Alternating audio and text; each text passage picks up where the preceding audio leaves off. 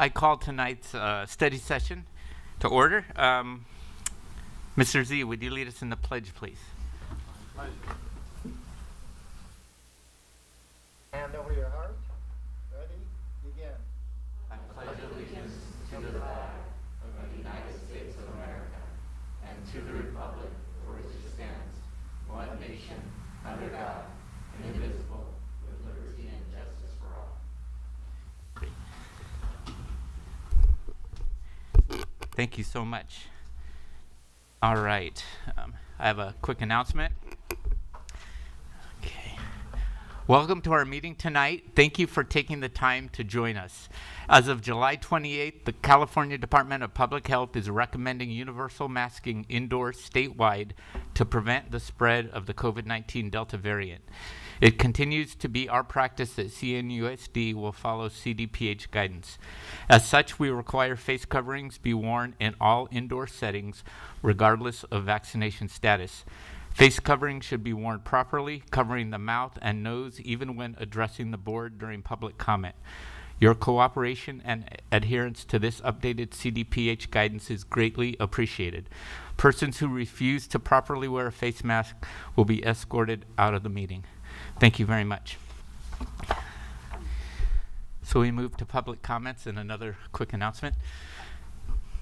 At this point in our agenda, we invite the public to address the board. Please limit remarks to three minutes or less. Comments will be timed. I remind the audience that this is a public session of the board and not a meeting of the public. Although the board will not respond to speakers directly, either during public comment or after the meeting, staff members may contact or follow up with the written communication. If multiple speakers address the same subject, I may request that subsequent speakers only add new information. The time limit for a given topic is 20 minutes, regardless of the number of speakers. If a speaker wishes to be heard on more than three topics, the speaker will be allowed up to a total of 10 minutes to address all desired items. Persons who have complaints against employees of the district are encouraged to seek resolution of those comments by utilizing the district's written complaint procedures rather than orally addressing them at a meeting. Please refrain from applauding after each speaker. Public comment is now open. And a few of you have more than one card, and so we tried to divide it into the order um, of topic. So I'll try and uh, tell you which, which card is up. Okay, number one, uh, Mina Arnold.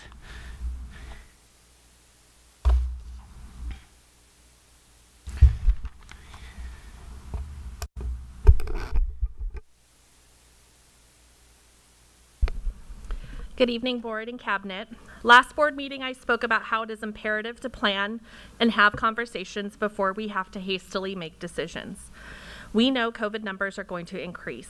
What are we doing, doing proactively to ensure school shutdowns are the very, very last thing to happen? Last year, our district was in a reactive mode all year long, making spur of the moment decisions and ultimately keeping our students from experiencing full time school because we weren't prepared. We were promised that we would do better, that tables and benches would be purchased to allow our students more space during lunch. We were told that our insanely high class sizes, which ultimately kept our secondary students from returning full time last spring, is an area that the district was devoted to working on. If our district was truly devoted to reducing class size, shouldn't that be included in the strategic plan? Shouldn't how we spend our funding reflect where our priorities are? Last spring, we gave everyone and their mothers a substantial bonus. And by the way, you were given incorrect information. When you asked if that funding could be used to purchase equipment to get our students back to school, um, it was from the unrestricted general fund, which means it certainly could have been used for a number of things, including equipment. So here we are, the next school year, back in the same situation we were in last year, with overcrowded classrooms that pose health issues and limit the quality of learning that's occurring. So talk through this scenario with me for a second. Let's say numbers go up. Let's say the California Department of Public Health says we now need to social distance. Go back to the social distancing we're now back in the same situation we were in before, where our secondary schools can't make the six foot or even the three foot distancing requirements. Once again, we will be back in the same situation where we're going to be watching districts around us able to remain open while CNUSD is forced to close because of our lack of preparation. Board meeting after board meeting, I sit here and listen to you all patting each other on the back. I listen to presentations on implementing uniforms in a school. I listen to presentations about the district attendance award that we received. I listen to all the sports accomplishments. And I'm not saying that those things are not important or worthy of recognition, but when the rubber hits the road, the big pieces that are critical to a successful education for our kids, like class size, are, bring, are being brushed to the wayside. I'm going to be submitting a records request, heads up Judy, wherever you are, asking for student to teacher ratios last year compared to this year. I understand that we did hire a few more science teachers at the secondary level, but my guess is that those ratios are not going to be much different. I would highly suggest every single one of you ask for that same information. We have to do better at making these critical pieces our priority and not allowing ourselves to get distracted by whatever the shiny, flashy thing is at the moment. Thank you. Uh, next, Serena Smith.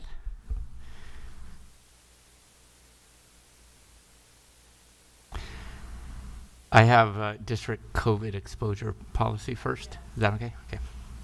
Hi, I'm Serena Smith.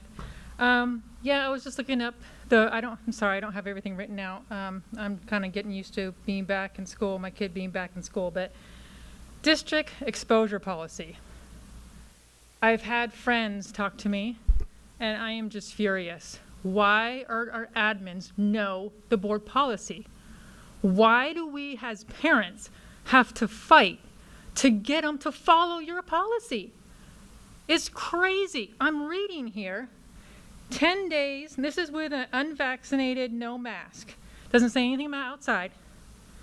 10 days with no test, or seven days with a negative PCR test. So, why are parents being refused? Why are admin acting like they don't know? And I'll get back to you. How many days do you think they should be allowed to get back to us? Because I get it. Maybe they don't know off the top of their head. But you're sending our kids home. I'm sorry, not you. The, the admin is sending our kids home 10 days with no in person instruction. That's important to me. That's why I came and fought for our kids to be in class. If my kid is supposedly exposed and gets sent home, and I want to get a test because I value in person education, and they're refusing. They're acting like they don't know and not returning any contact with us. This is ridiculous. And another thing, what is your policy? I haven't found it. About outside exposure and about who you listen to. So a kid can say, oh, by the way, I walked by so and so and so and so, and guess what? They're pulled and thrown out for 10 days. And I'm saying this because it's happened, and it's happening right now. And when you say, can you please prove that? They say, sorry, the burden of proof is not on us. So now these kids, again, 10 days with no in person instruction, which I don't think that even it fits the new um, AB 130 policy. But I value education. I value your teachers. I understand COVID is out there, and I know we need to do things to keep people protect, protected. But these admins should be following what you guys put out. So thank you.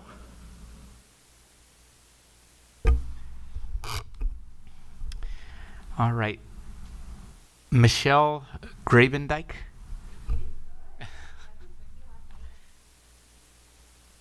All right, good evening, guys. I'm Michelle Grabendike. I'm both a special education teacher as well as a parent in the district.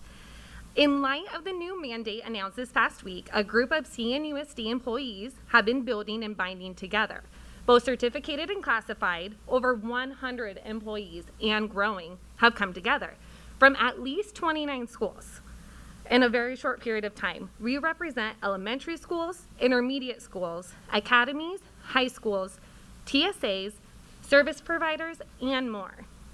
We are looking for the board and the district to defend this group of employees. We are calling for the district not to follow the mandate requiring employees to be vaccinated against COVID 19 or tested if they aren't.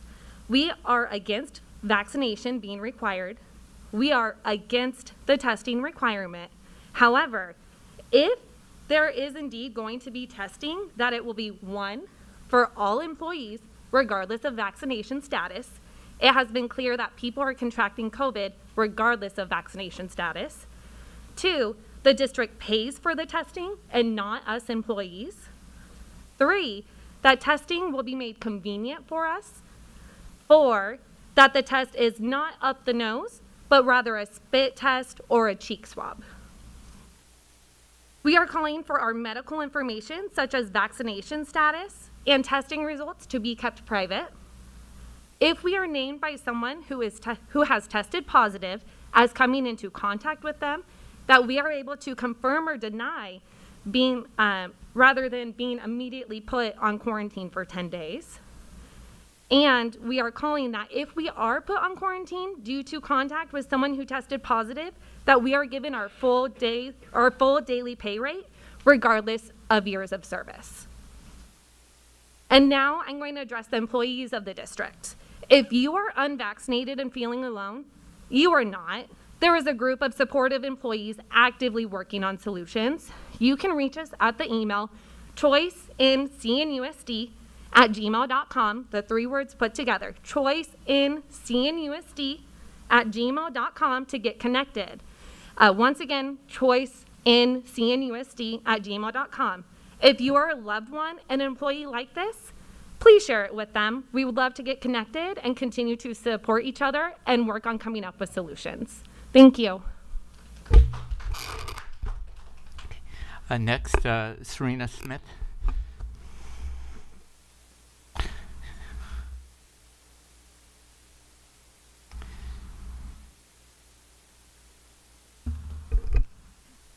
Hi, I just wanted to quickly, because I know there's a lot of speakers, but I just want to quickly say about, um, I know I'm, it's kind of reactionary about the vaccine mandate because we have testing right now, but I, I feel like we're always reactionary, so I want to kind of get ahead and say if you actually mandate the vaccine, um, the CDC actually reported that 28.4 of the black community have received the COVID vaccine. Everyone has had their chance. This is their choice. So when you guys just think about that, and think about that when you're talking about equity, because that is now forcing them to do that. They've had their chance, they've had their choice, and they made their choice known. So if you push any kind of mandate in this district, just remember you got to get step down off that equity box. Thank you.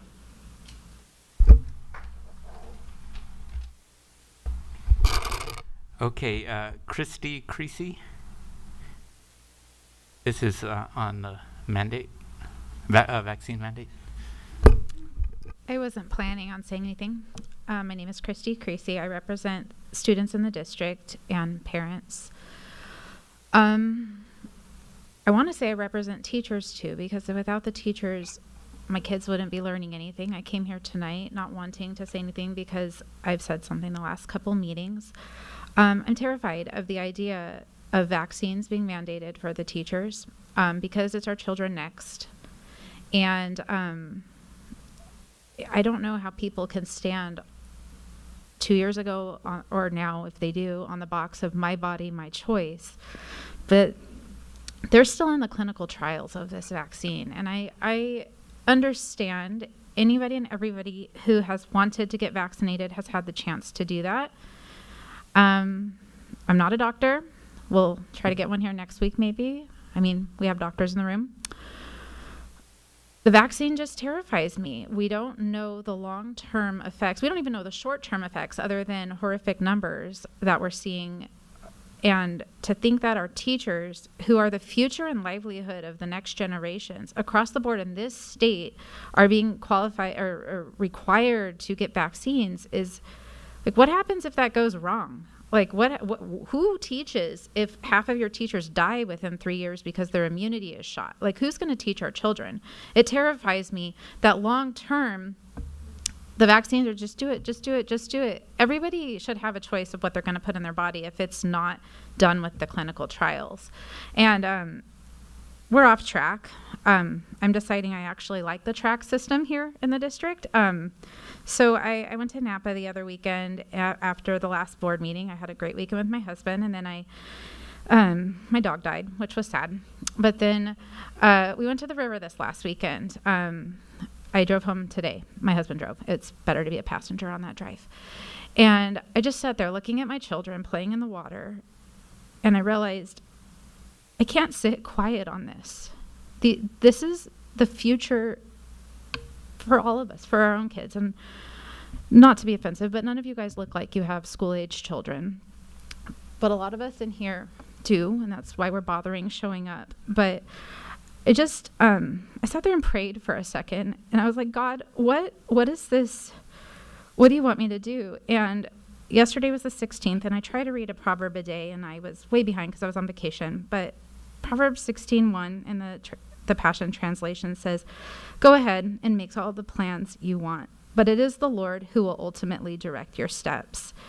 We are all in love with our own opinions, convinced they're correct, but the Lord is in the midst of us, testing and probing our every motive. And I just ask you, what are your motives? What are your real motives? Why did you push to be the highest paid person in the room? You care about these kids, I think. I just want to put it out there. What are your motives? That's all. I'm out of time.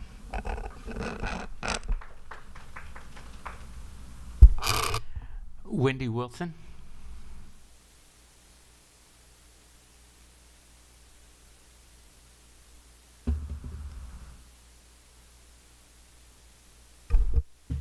Hello, good evening. Uh, my name is Wendy Wilson. Um, I've spoken quite often with many of you um, over the last year and a half, and I thank you for the opportunity to be here tonight. Um, I've felt really lost the last year and a half. Um, I started out with, luckily, uh, finding a group of some educators and moms who are very like minded and um, we're concerned about the mental health from the very, very beginning. And we jumped on this and tried to get on it. And, and many of you were very receptive and have given a lot of your time to discussions, and I appreciate that. But I look ahead now into the past, and we are a year and a half where we're at, and we really haven't made any progress. Um, most of the kids who failed last year went back to summer school, my son being one of them, who failed two classes and was an A student. He got an A plus in one class and a B plus in the other. It was in person. It worked for him. Um, so he had to pay the price, and he did it. Um, we have a lot of families suffering and struggling in our communities right now. Nothing has changed. People are going back to school, and it's great. We're thrilled for that, but we still feel like we're begging and we're groveling.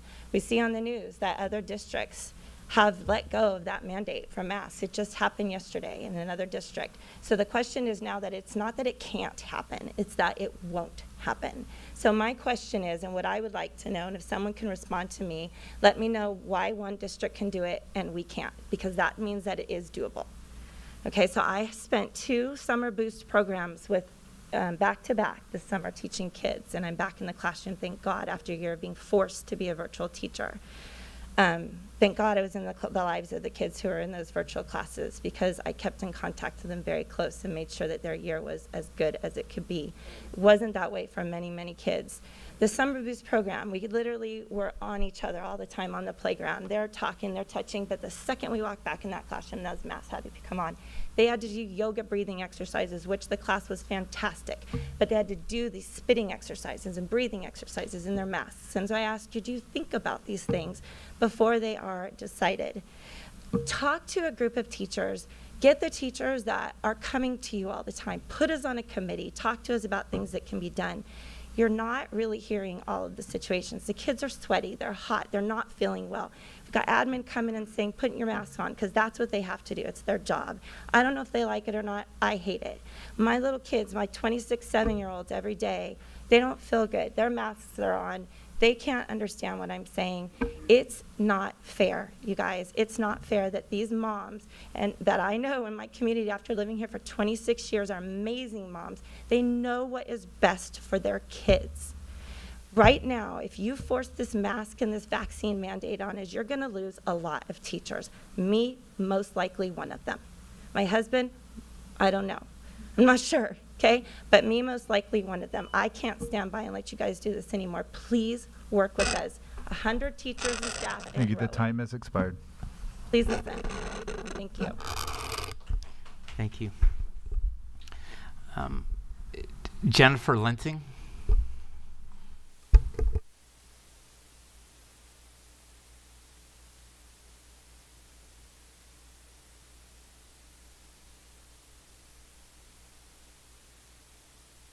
Not sure if you guys missed me or not. It's been a while. But um, I've been here for the last year and a half fighting for the kids. I've, I even mentioned, I know the va- vaccine's coming, the mask mandates. Start with the vaccine mandates and with the kids. Um, I stand here today with the teachers against the vaccine mandates. I don't think it's right. It's emergency use authorization only. It's a 99.9% survival rate unless you're 70 plus. 50 and 60 year olds, it is if you have two or more, three or more comorbidities. Everyone else should be reaching herd immunity. Um, you also have the choice. If you don't want the, to play that gamble, you don't have to. But as it is, there is no such thing as zeroism. There will be no zero COVID. It's a mutating virus.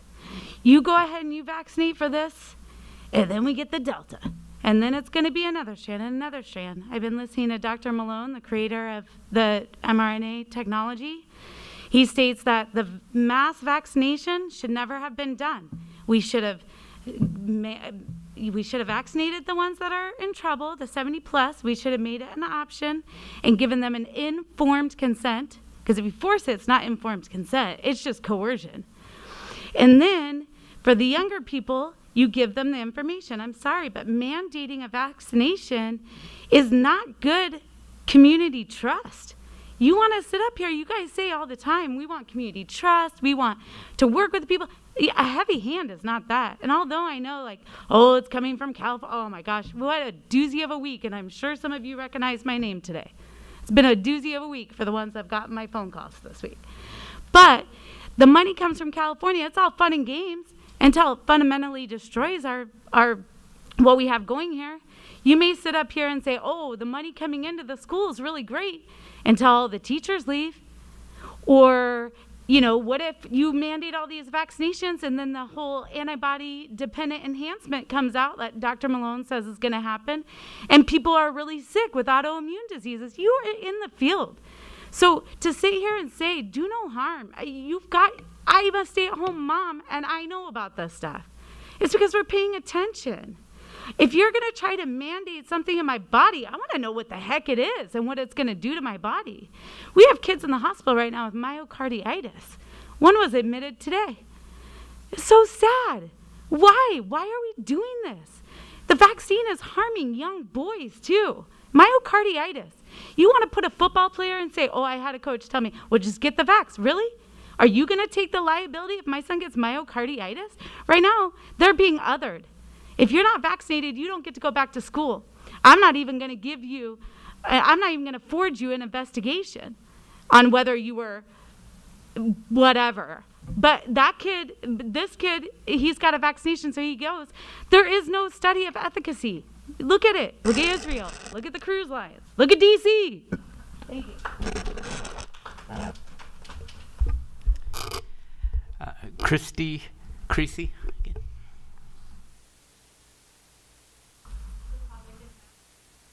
Yes. I'm Christy Creasy, again representing the students and parents and teachers in the district. Again, I didn't feel like I was going to talk, but um, I got here and nobody had signed to stand up for our kids in these masks. And interestingly, she brings up liability. That was what I took away from the meeting last time. You had your lawyer come up, and it was easy to just dismiss it behind, well, then the board takes liability. But that becomes the question. Um, who's who's liable for the side effects of a five-year-old wearing a mask all day? We talked about spitting in the mask and the yoga exercise and whatever is being just the CO2 that they're breathing in. Who's who's liable? Will you guys sign a liability waiver for our children for side effects that will come from wearing masks all day? Who, who's liable at the end? Same with the, the vaccines. Are you, are you liable? Because the vaccine makers aren't liable. It, it if it comes down to board liability, I want to think that you guys got into this because you love the children. I feel like I just said that, but I mean, I've been liable since I got pregnant with my children. They've been sucking me dry since then, and I, I, I I'm liable. You're right. If my kid shows up with no mask on and coughs on somebody, what happens next? For me, nothing. You're right. And maybe I'm willing to take that chance. That's really what it's coming down to is like, we're not being heard. And I understand. The health department says the school has to do this, the school has to blah, blah, blah, blah, blah.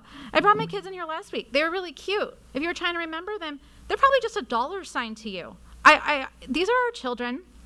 And would like to parent my children. I don't want to co-parent with the government. I don't want to co-parent with the school board. We already, um, you guys provided a great service to the community prior to this. This has thrown everybody into this political warped arena of thinking where you you have to stay politically correct. You can't upset these people. You can't, like we mentioned, the other boards, other other areas are standing up for the people. And I ask that you really just say, is liability the reason? What is the reason that we can't look at the fact and say this is child abuse.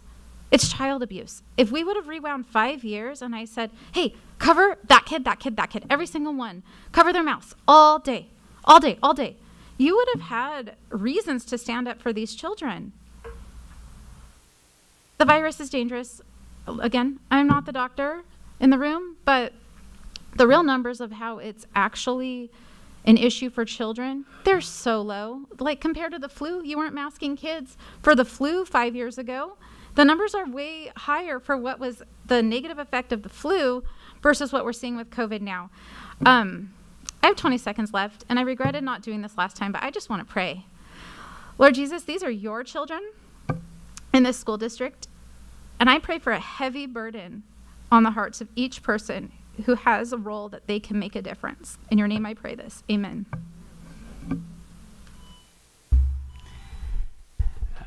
Yvette Duchess. Yvette Duchess.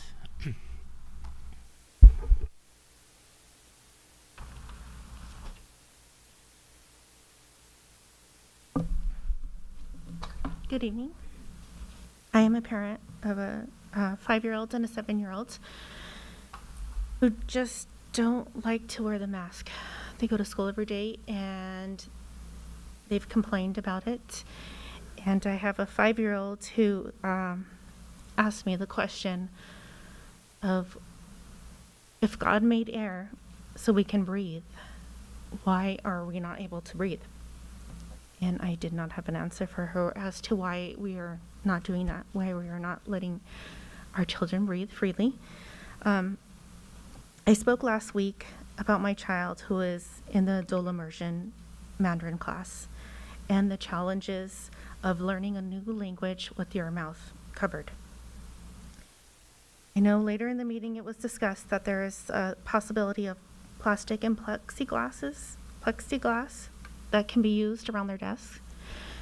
So um, I'm here today to follow up on that action as well and uh, to see if in fact discretionary funds can be used to allow these children that are trying to learn a new language to be able to have their mouths viewed and view the mouths of others. Um, I, this is a really great program, and I'm sure there's a lot of money that went into starting this great program. So um, the success of it, I would imagine, would be important to you all. Um, that is all I have for now. Thank you for your time. All right. That's the last speaker. Thank you for all our speakers tonight. On behalf of the Board of Education, thank you for your comments. Um, as I stated previously, a staff member will contact you or follow up uh, with written communication. Thank you. all right, next, Dr. Tompkins. Mental health has certainly taken its- its toll on all of us, and that definitely includes our students. Mental health has become a priority because of the, the national and local epidemic of mental health issues. We've seen it just exacerbated by the, the current pandemic. There's just been a lot of things in our society that kids uh, are going through that having mental health uh, supports really uh, um, increases the positive outcomes for them. Right now, we have the resources to really uh, put towards our students and our staff to make sure that we can support their mental health. We want to be able to provide supports for kids so that they can learn. Because if their brains um, and their hearts feel happy, they're much more likely to be able to attain uh, great levels of academic achievement. Students do better. Student performance is enhanced when they are mentally and emotionally supported and healthy. It's really our goal to meet students' needs, making them feel safe, making them feel connected, relaxed in school settings so that they can engage better academically. I'm really excited about a lot of the work we're doing with mental health. I'm excited about how our multi-tiered system of support structures provide mental health tier one services for all students, tier two services for some, and tier three services for the ones that need it the most. We're really looking at what a student needs and the individual student needs, and we're able to kind of group them together um, to provide that support, but we're able to kind of systematize it to provide supports for all of our kids at all of our schools in, in a very structured way. And the same is true for adults. You know, we've all been through this very challenging year, um, and, and, and nobody's walked away untouched by that. All staff in working with students, we need to make sure that our staff are, are mentally well and mentally healthy. With our district focusing on uh, our employee wellness, we're going to be in a better place to be able to help our students. Our students, our families, our teachers, our support staff really depend on us each and every day for us to be there for them, to make a difference, to help them engage, to support them, to help them uh, connect. So thank you so much for everything that you provide. Looking forward to a wonderful 21-22 school year. And thank you so much again for taking care of our families. Click it for me there, Mark. So that happened on purpose, just so you know, that was planned to have the video show first. I'm kidding. Board President Pollock, board members, Dr. Ben and Executive Cabinet. Um, I'm excited actually to be here today. And behind me, we have our awesome group of counselors and deans from our sites that actually participate in this work they're going to be talking about tonight. Uh, we're going to share a lot of information regarding our multi-tiered systems of support for student wellness and mental health.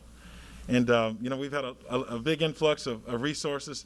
Our goal was to be coordinated and comprehensive uh, in that process and in, in uh, developing these services. So we're really excited to have this group here.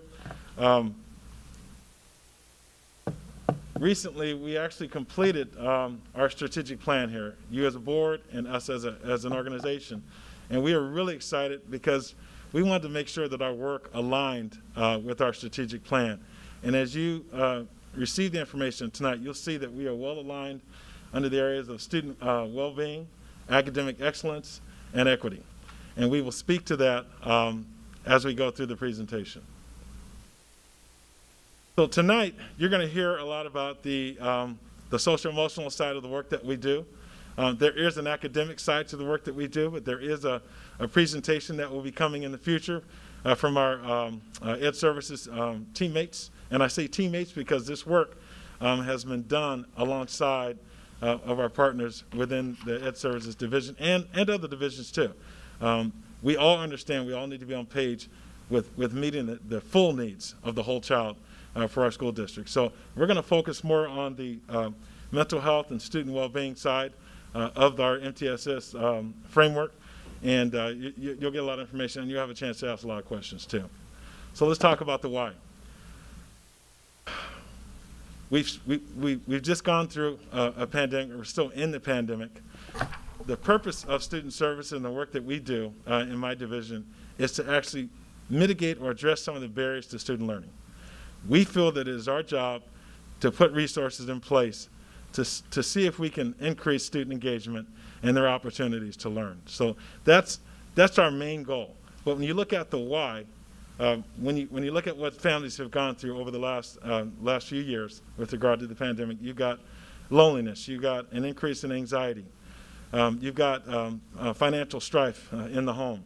We've got um, so many situations that have occurred, the trauma that has occurred, the loss of life uh, within families and, and, students' families. And they're coming back to school with all of this on their shoulders. And so we, we feel it's very important um, that we address this in a comprehensive and coordinated way uh, so that folks can see there are some assurances in our system to how we want to address meeting the needs of our students right now. And so that's our attitude. What are we doing right now as we get our students back? So I'm going to call up Josh Godinez and Sarah Gonzalez to come up and uh, speak to their part, and then we've got a whole slew of presenters here. So here we go. Thank you, Dr. Tompkins. Thank you, Honorable Board, esteemed colleagues of the district. My name is Josh Godinez, and I am proud to be a CNUSD school counselor at Centennial High School. And for those of you that don't know, I have a little moonlighting job as the president of the California Association of School Counselors, where I have the honor of representing over 11,000 school counselors throughout the state of California. And in that role, I get to serve on a very important committee. It's the California Department of Ed's uh, Mental Health Coalition led by Dr. Daniel Lee, who is one of our deputy associate superintendents. And about eight months ago, Dr. Lee had met with me and the executive director and said, School counseling has gone through an evolution over the last 20 years. 20 years ago, we had guidance counselors. And with the modern day school counselor, what we do is vastly different. And we have to tell that story because eight months ago, we weren't in our schools. And what he said was, I need you guys to put together a video that tells the story of the modern day school counselor and how they serve our parents, our teachers, our schools, and especially our students. And we did just that. And if we can play the video.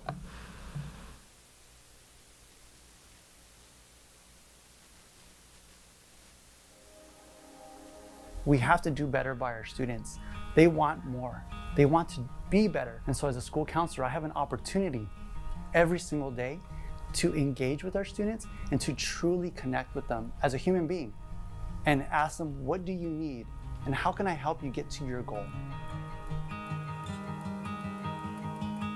I really just started having panic attacks every single day, and I was terrified of getting sick. I would struggle from time to time. Like I, I could study a lot, um, and when I went to take a test, I'd blow it almost every time. This has been by far my most challenging year. I've started going towards the counseling department in my in my own ways, just sort of professionally and personally. You know, my daughter has challenges um, academically, and um, because of her mutism, she doesn't speak to the teacher or other kids, and it's very, very scary for her. Eighth grade in middle school, my cousin had got shot on my street and unfortunately passed away. Uh, he told us that my aunt and my cousin made it out, but the, the rest of my family didn't. School counselors do so much more than school counseling.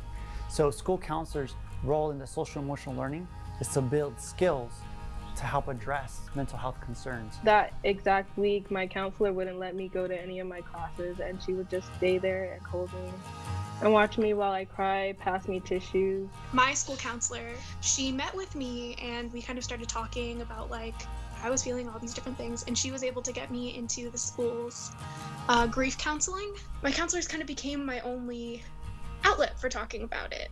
But because she has worked with her counselor one on one, she's built that relationship um, and she's built that trust and she can speak to her comfortably.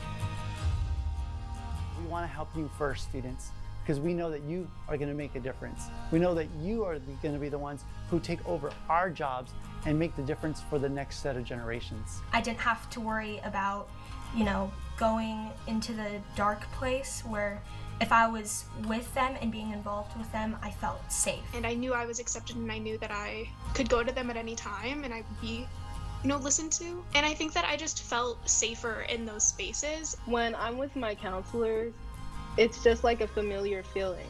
They care about me, they care about where I'm going to go. She would take the time and, and would look and would tell me, you know, let's start talking colleges. I think you're ready. Which makes me feel very happy when I see her speaking to someone else other than our her family. They've been incredible because they have supported the social emotional needs having one-on-one sessions with students they're you know doing zoom sessions they're calling them by phone and so we invite you to ask for help from school counselors. We will do whatever we can to assist, but we will here, be here to help more than anything with your child because your child is our child. Nosotros como consejeros escolares estamos aquí para servirles a ustedes, pero queremos aquí estar para ustedes para ayudarles en cualquier cosa que necesiten.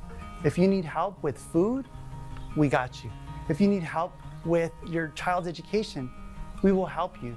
If you need help with your child's future plans, we are here to assist. Where I was in high school to getting, you know, even to see sun, probably one of the greatest successes of my life. You're gonna see me with my masters on my wall. I'm getting to where I wanna be.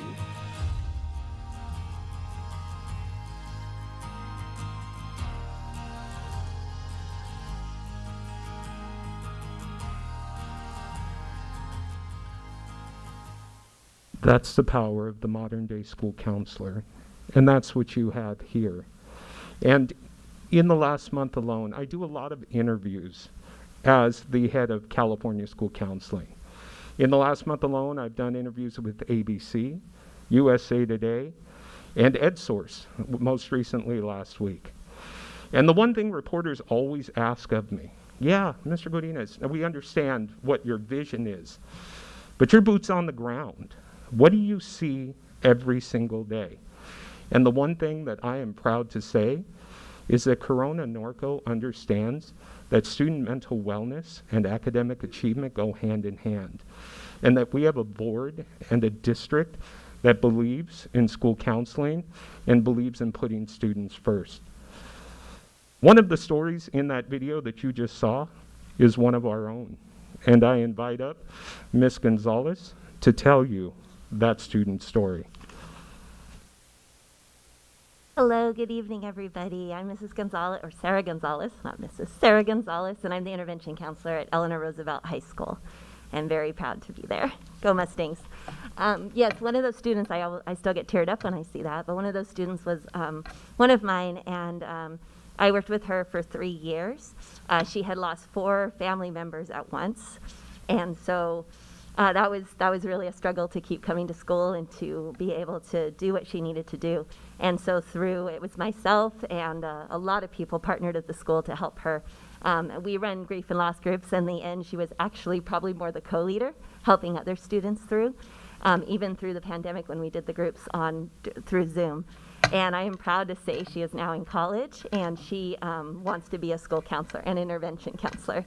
So I just wanted to tell you, I mean, we really, we, we we, we are a great district and we really help kids get to where they need to go. And, and I don't know if she would have been able to do that without all the support of just staff and her. Thank you.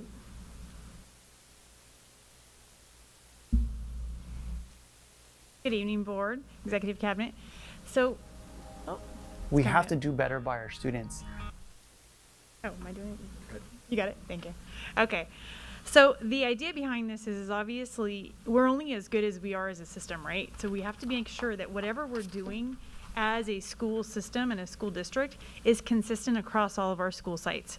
It's really important that a student that is at, at Temescal Valley gets the same type of care and same type of um, experience through the tiers as a student, let's say at Reagan, right? They're the same district. We need to make sure that, the students in our district, as, as it says in our uh, strategic plan, have a consistent student experience. Um, and the way that we get there is by making sure that our employee training is in the same place, that, that our staff knows what to expect, and that we have processes to, to align what we're doing for kids. And good, af- good afternoon. My name is Jeremy Goins, and I am an administrative director along with Tricia and structural support. And that consistent student experience uh, is also uh, we we we add the idea of equity into that experience, right? And what that means to us is that we give every student what they need when they need it right? And so you have that baseline uh, experience, but as you heard from our counselors, Josh and Sarah, some students need more, right? And we have the idea that we want to build systems so our students who need more can get more, and we're going to share with you that system tonight.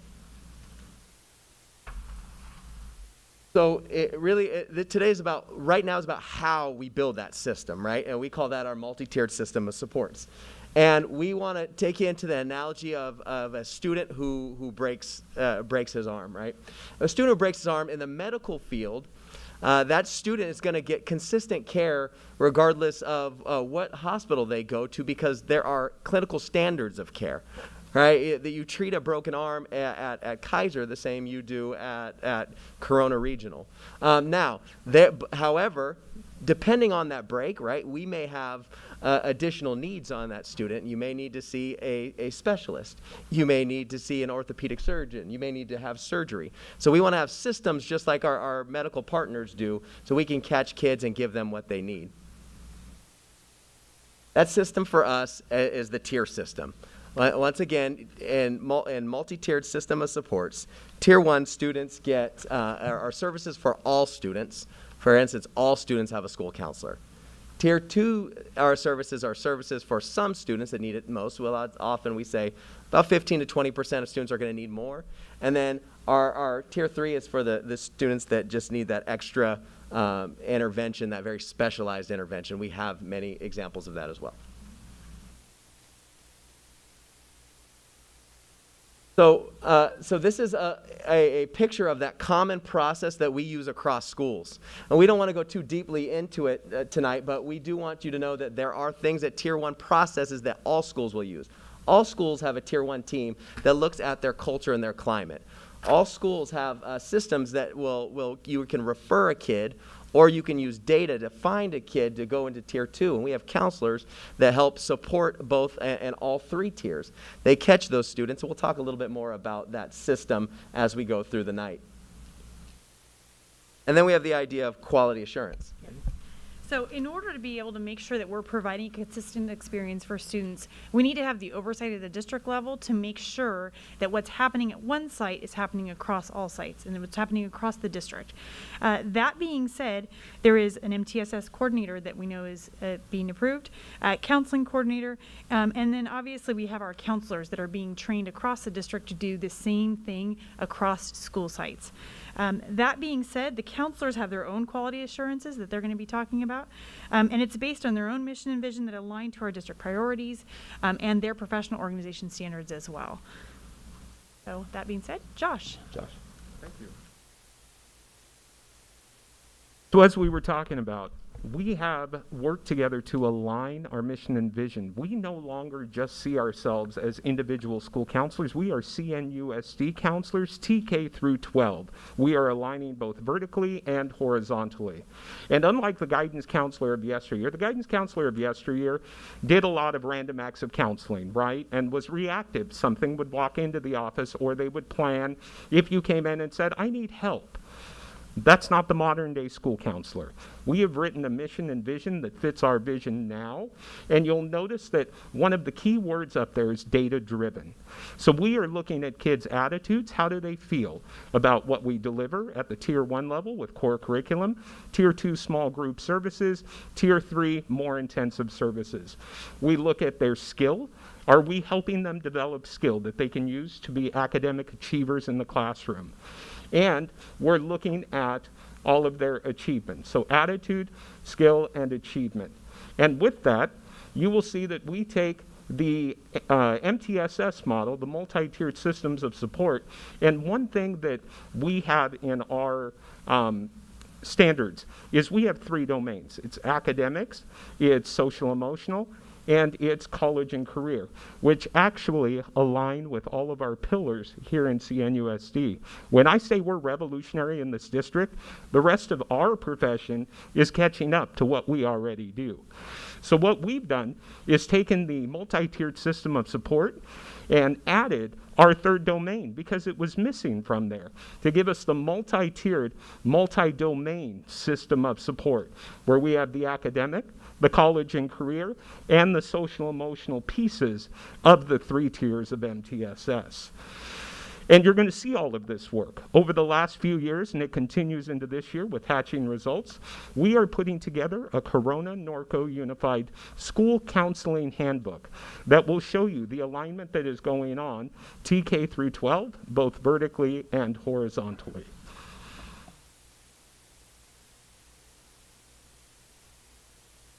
That being said, back to the medical model, um, you you would have different types of hospitals or medical or insurances like Kaiser or Dignity Health They have their own stamp on how they do things, but there are still standards for how they for how it's being done, right? Or for what's being done. That being said, we still want to have some site creativity because sites have different uh, cultures that need to be supported through this process. Um, so in doing that, um, in doing that, we're going to be talking about what we are doing for students. So that's going to be our next um, thing here. Yeah, so so with our with our students, we wanted to to recognize that when we we're about to lay out what are, what is the plan, right? What are the services we provide? And it's important to note that um, we have this idea of emergency response, right? We are in a pandemic, and we have uh, we have resources right now through uh, expanded learning opportunities grant to provide uh, right now in time services for our students. So we're going to do that. Part uh, uh, in addition we also have things that uh, like as many of the things that josh just said that already are in place in our district and will continue in place. So we have a, uh, a, a combination of things that are for for now for that response and long term. So let's talk about the tier one common assurances that we have in this district. Uh, and uh, today uh, trish is going to start with the professional development that we had this last couple of weeks. All right, so we have some great information to share regarding our trauma-informed essay. Um, on, uh, on June 30th, August 5th, and August 6th, all of our school sites, all of our school sites engaged in this learning. Um, and it was a great time for staff to come together, and the learning was on more good days. Trauma responsive practices in the classroom. Um, classified staff were invited as well, um, and we have great feedback from our staff on how it went. So, how satisfied were you with the presentation style, activities, and resources for today's session? We had 94% of our staff give it a four or five, 94% of our staff give it a four or five on this one, which is a huge response and would be considered clinically significant statistically significant. Sorry. We wanted to um, show that you know uh, the the presenters made the point that you don't uh, work out once uh, once a year and uh, you know become uh, healthy and fit, right? You have to work out consistently, and so we don't think that one training does it. We are providing year-long training for our, our sites, uh, monthly training. So we had our S day for all sites, and then we have the, these options every month for sites. We're really excited about the ongoing support to support social emotional learning. And we've given you guys all the descriptions of the upcoming trainings at the back of your packet tonight, so you can review that. That being said, one of the most impactful parts of the training that we had was on the discussion of automatic negative thoughts, and they call them ANTs. This is the one thing that all of our staff, many of them reported this as being a huge learning piece for them. And we want to kind of explain it to you because we feel like it has a huge, it will have a huge impact on not only adult behaviors, but student behaviors as well. So our presenters explained automatic negative thoughts as being those things that kind of creep into our head and and kind of write the story for us. Sometimes even without um, without us knowing. So some of them are listed up there. Um, some of the ones that they, that we pointed out that we, we both recognize we see a, a, lot of times is the idea of all or nothing thinking. You've seen kids before. I'm never going to be good at this, all right? I, there's no way I'll ever understand this. That it's an extreme, right? Sometimes we have, uh, as adults, the idea of, oh, I should have done this better. I should have said this. I wish I would have done this. The idea of shoulding uh, uh everywhere. So we're always saying that we should. Now, those two things are some of our ants. So what we wanted to be able to talk about is what are the implications in the classroom for this stuff. Um, so this is a great example because as soon as the adults understand the idea of automatic negative thoughts, there are adults that then then share this with students. So this is a student from Orange Grove High School. So if you look, what they do with the student is they have them say, what is your automatic negative thought? So if you look in the column to the right, uh, that they recorded, I got expelled, I'm the worst child, my parents hate me, I'm a failure. This was the student's feelings about something. So the teacher asked them, tell, you know, record your thoughts, right? So she did that. Then what they did is they took the list before of the automatic negative thoughts and they had the student name what was she doing. Okay? So she realized that she was catastrophizing, overthinking and labeling. And then moving forward, she was asked to replace those things with something that was a better story, right? That would help her deal with whatever that feeling was. So I made a mistake and I'm going to learn from it. My parents are angry, but they still love me. This type of skill is something that, that we taught, that, that we are teaching our staff throughout the year, but we started on the S Day. And it's great because this is the type of skill that students need, right? Be able to overcome adversity, be able to have that self awareness and self management. This is what we taught our staff, and then they can then teach our students. And so when you think of tier one, you think of things like this where it's proactive, right? We're not waiting for a student to have uh, a negative thought. We're, we're teaching them the skills knowing that, that all students ultimately will. Another tier one support that we are going to be doing at, at, all of our schools is providing wellness centers, also known as calm rooms. And we're going to show a quick one minute video from JFK of the work that they're doing uh, over there, the one on the right, Mark. Thank you.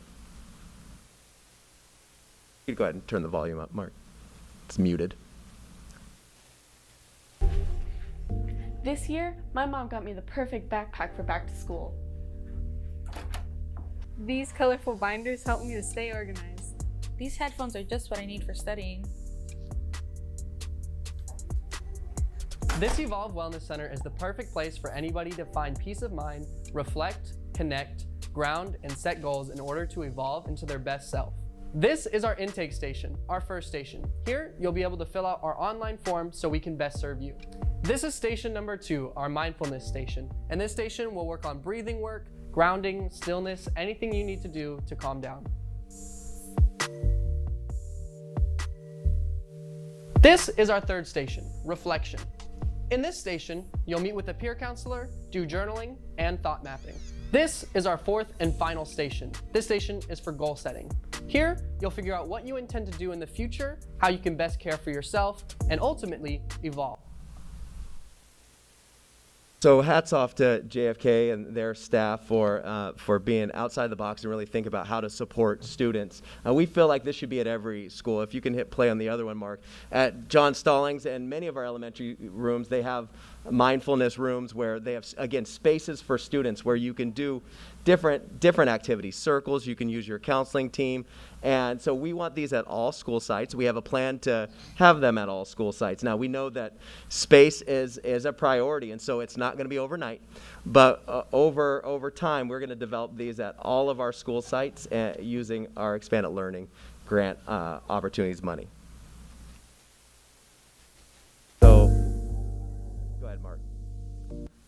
Thank you. And then Sarah's going to talk about some of the impacts of the, these kind of spaces with students. Hello again. Um, so we have a uh, wellness room that we put together a couple years ago, and it's where we use we hold our groups and we have we open it up at lunch so kids can play games. If they're new, they get to make friends with other students, and we also have in um, we have pods, and in our pods we have spaces that we've made where it's a room where if a student's waiting for a counselor, it has it's a it's a safe place where they can sit and they can um, color, they can play with clay. There's breathing exercises. It's just a space where students can be, especially if they're upset or they're just like they're having to wait for us. We don't wait them out in public, so they're like in this space. And what was so, what's so cool about this is the students have uh, it started probably like about a couple months after it opened, the students have started leaving notes for other students. And so we'll leave stickies in there and they'll they'll blast the board. I just took them down from uh, the, the last year and so there's a fresh board up there. But this was when I found Friday afternoon. So I hadn't even put out the stickies yet. And I don't know what student did this, but they left a note for another student. And I thought, wow, this is just beautiful. So it's it's just a really cool thing that I think that we're doing and giving these spaces for students to kind of help others.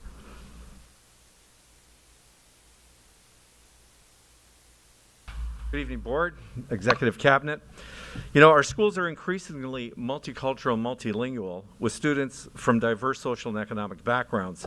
Social emotional learning provides that foundation that is equitable, safe, and, uh, and positive for positive learning, enhancing the student's ability to succeed.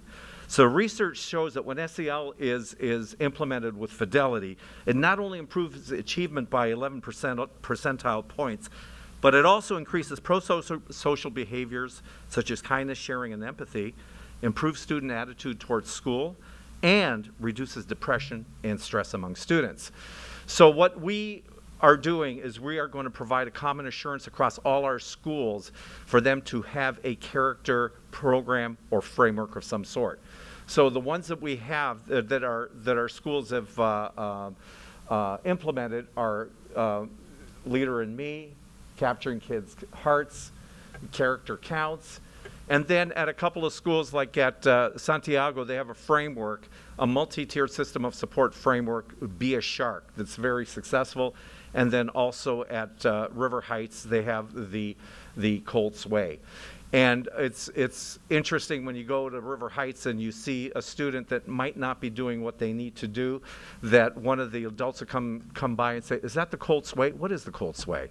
And then the student knows that, and they'll repeat it back. So this is what we're looking at uh, moving forward. Thanks. Good evening, Board and Cabinet. Uh, my name is Randy Thomas. I'm the coordinator uh, that oversees uh, counseling services in the district. Uh, so we're going to talk about Tier 1. Now, Tier 1 supports are designed for all students. So all students get them. So the big question is, how do we know what all students need from a socially emotional standpoint? And this is our answer to that. We're going to start using universal screeners to address different things, where we can find things like growth mindset, social awareness, self-efficacy, and self-management, and figure out where the kids are, where all our students are at every level, uh, and then we can address their needs from there. So we test ran this universal screener idea during the Summer Boost program. The Summer Boost program is interesting because we've never had school counselors run a, a summer school program before. At every level we had counselors, usually high school, summer school, they're there for a few days and then they leave. They schedule and then, and then they're gone. Uh, so we had a counselor full time at the high schools, and we had a counselor full time at all the uh, intermediate and elementary levels. So we ran a universal screen as sort of test run to see what kind of information we can gather. And you can see the one on the left there says, "I stayed calm when others bothered or criticized me." That's that comes from the the uh, idea of self management, and you can see. Uh, about half the kids are able to stay calm without a problem. But it also shows us there's about half the kids that are irritable and trouble and they've been away from everybody for a year and a half and we have to bring them back in. This was an elementary school this particular one. So that shows us um, what kind of information school counselors can look at and where they can go and what kind of activities they can do school wide in order to address those kinds of information the the one on the bottom right was the same elementary school uh, but this was the, the idea of self-efficacy. So it says I can earn an A in my class. So elementary kids are great because look, look how they rebound. They're like, I'm coming back and I'm going to get A's. So you got 48% mostly confident that they can get an A. You got 37% that they're like, yeah, I'm totally getting an A. So they're coming back with the mindset of, I'm going to do this. And it's great, right? The interesting thing about universal screeners is we can throw this back out there about, about mid-year and see, are the kids still there? Like, where are they at now? So we can make adjustments and make sure we're meeting the needs of all students based on the feedback we're getting here.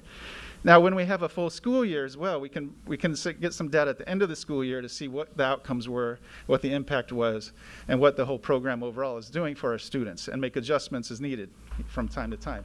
Now, one other thing that we added in the high school questionnaire, which was very interesting, because keep in mind, we don't usually have a like a socially emotional counselor at high school level in the summertime. But the question was, uh, would you like to see a, a, school counselor for support during summer school? Uh, this is only the second session. Uh, there's about 4,100 students in that session. 686 of those students said, yes, I want to see a counselor for support.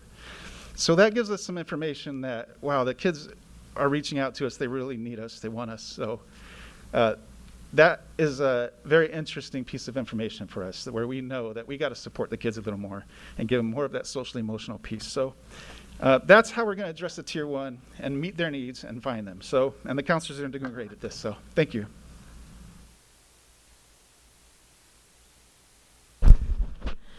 Good evening, board and the executive cabinet. My name is Margot McDowell, and I'm a counselor at Norco Intermediate.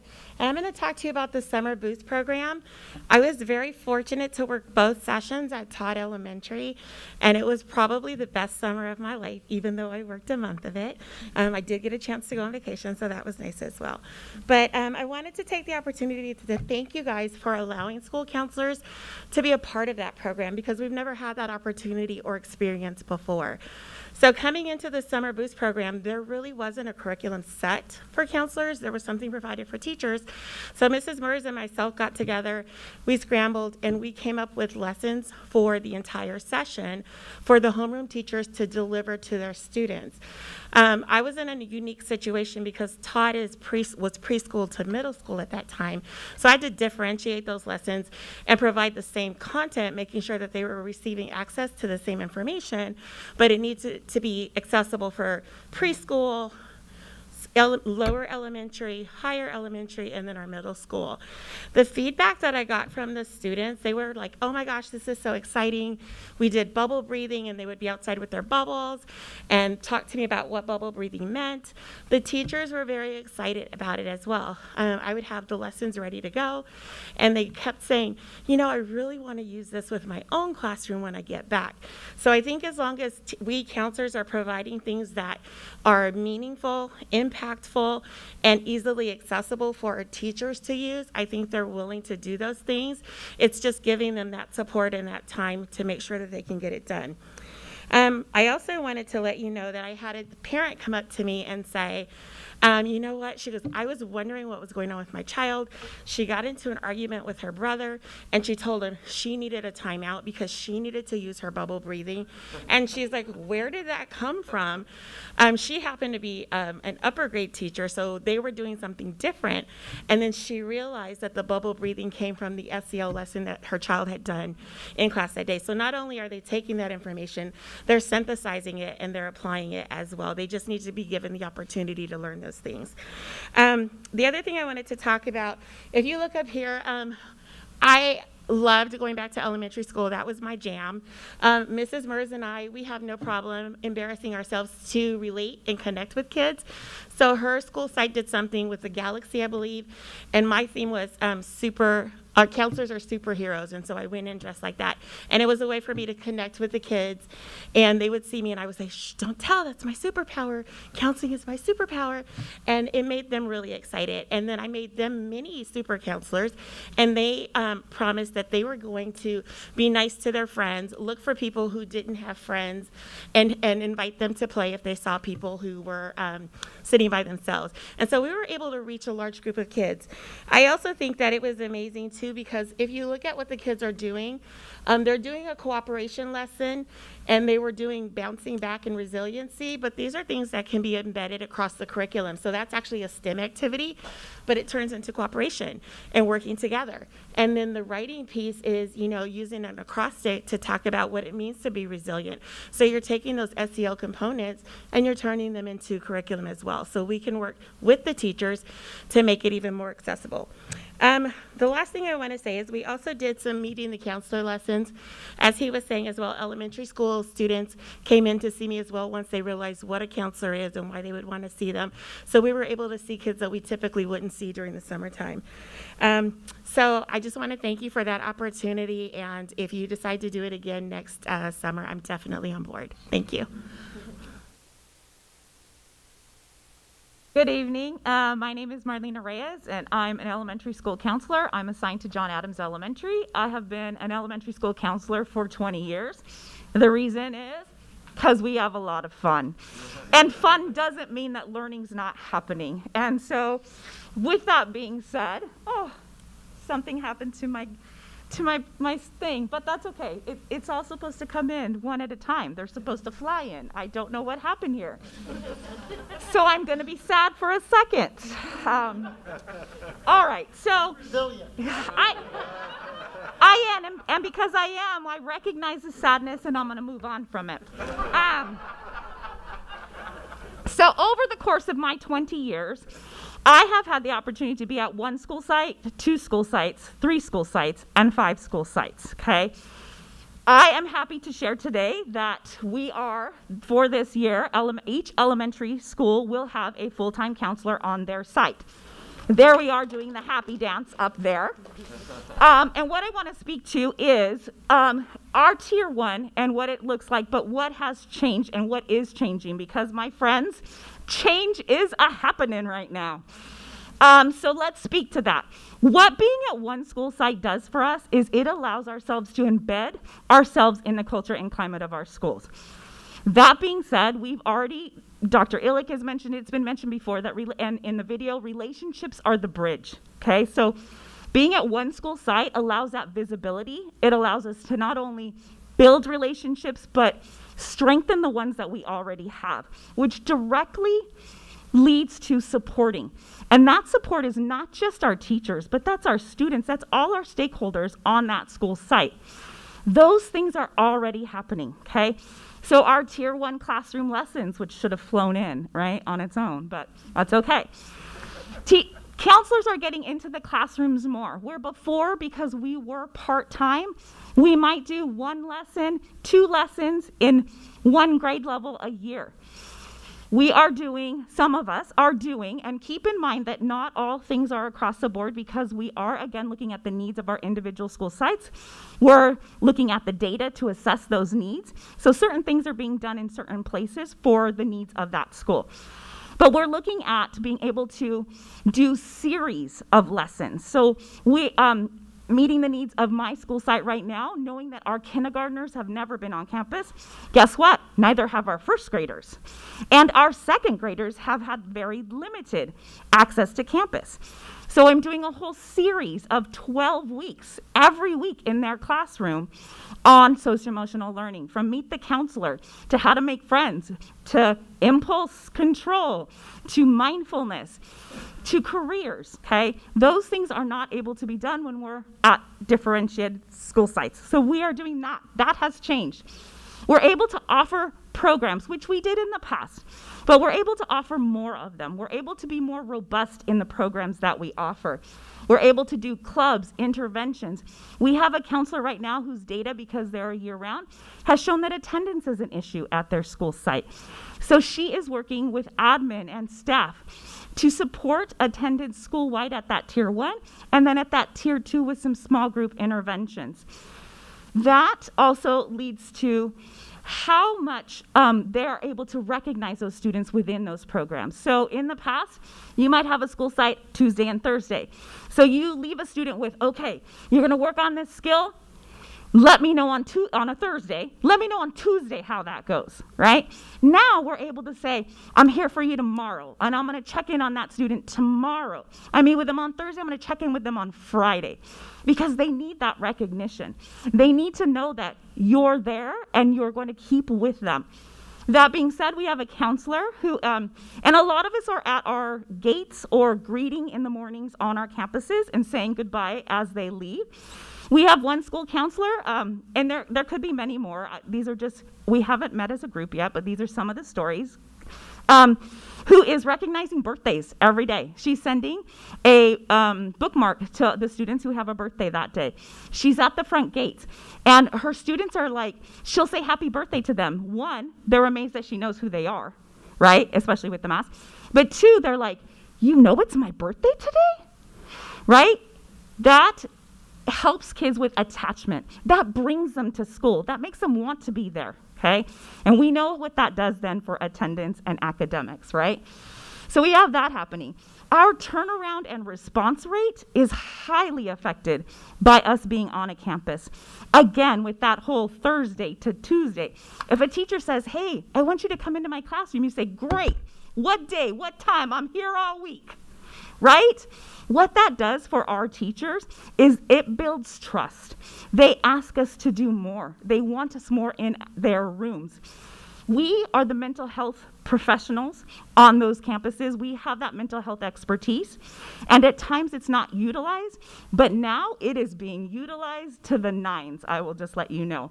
For us traditional, we've only been in school for two weeks, and I can't tell you what my calendar looks like.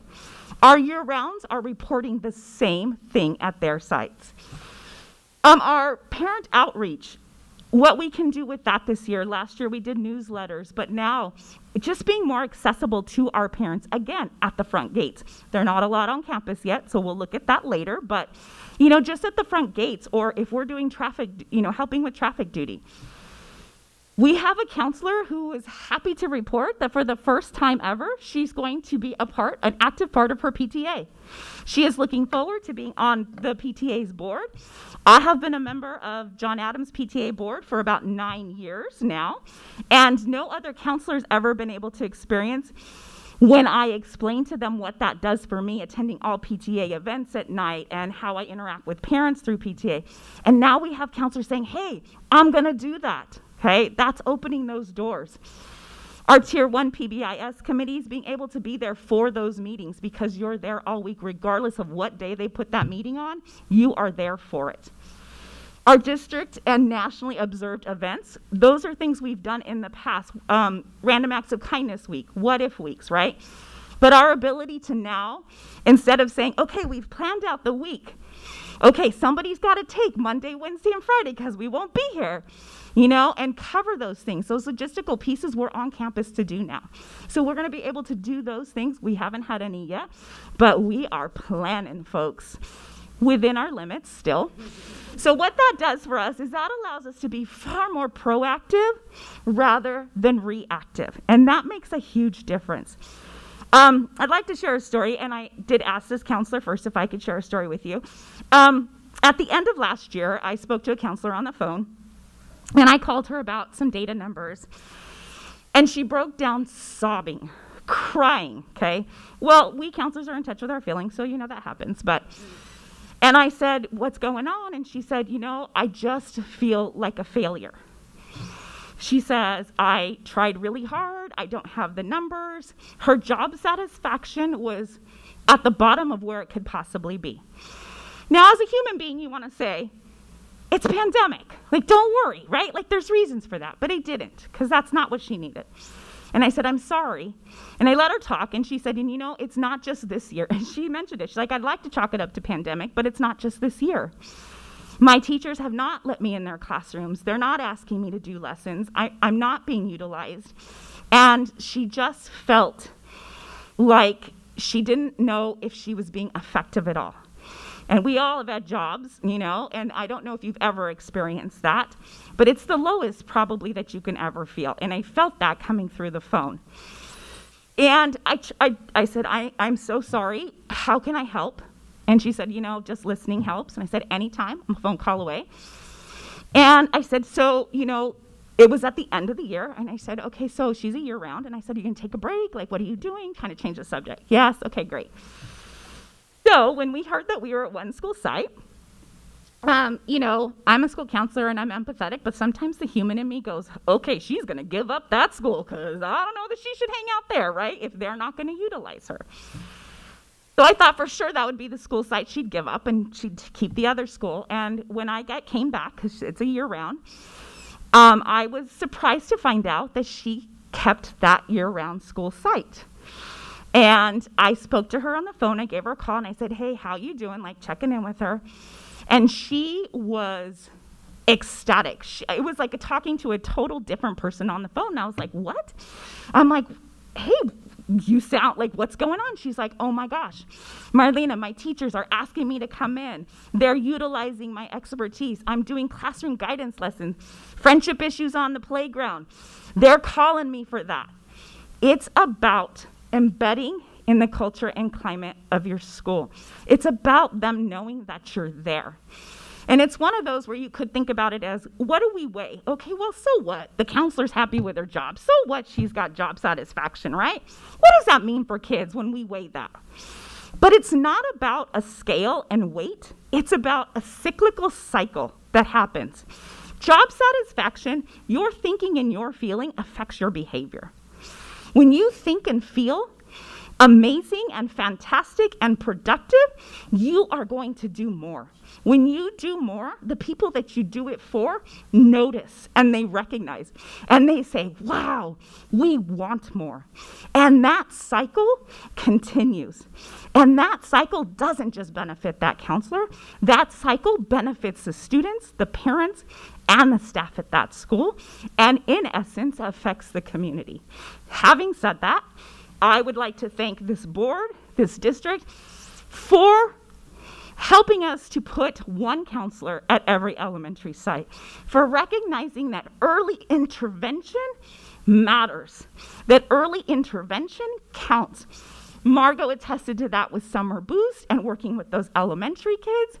And now we are seeing it every day with having one counselor at every school site. So thank you very much for that. That's it. I am Susanna Mers, and I am at El Cerrito Middle School. Um, amongst classroom lessons, oh, I should probably change the slide.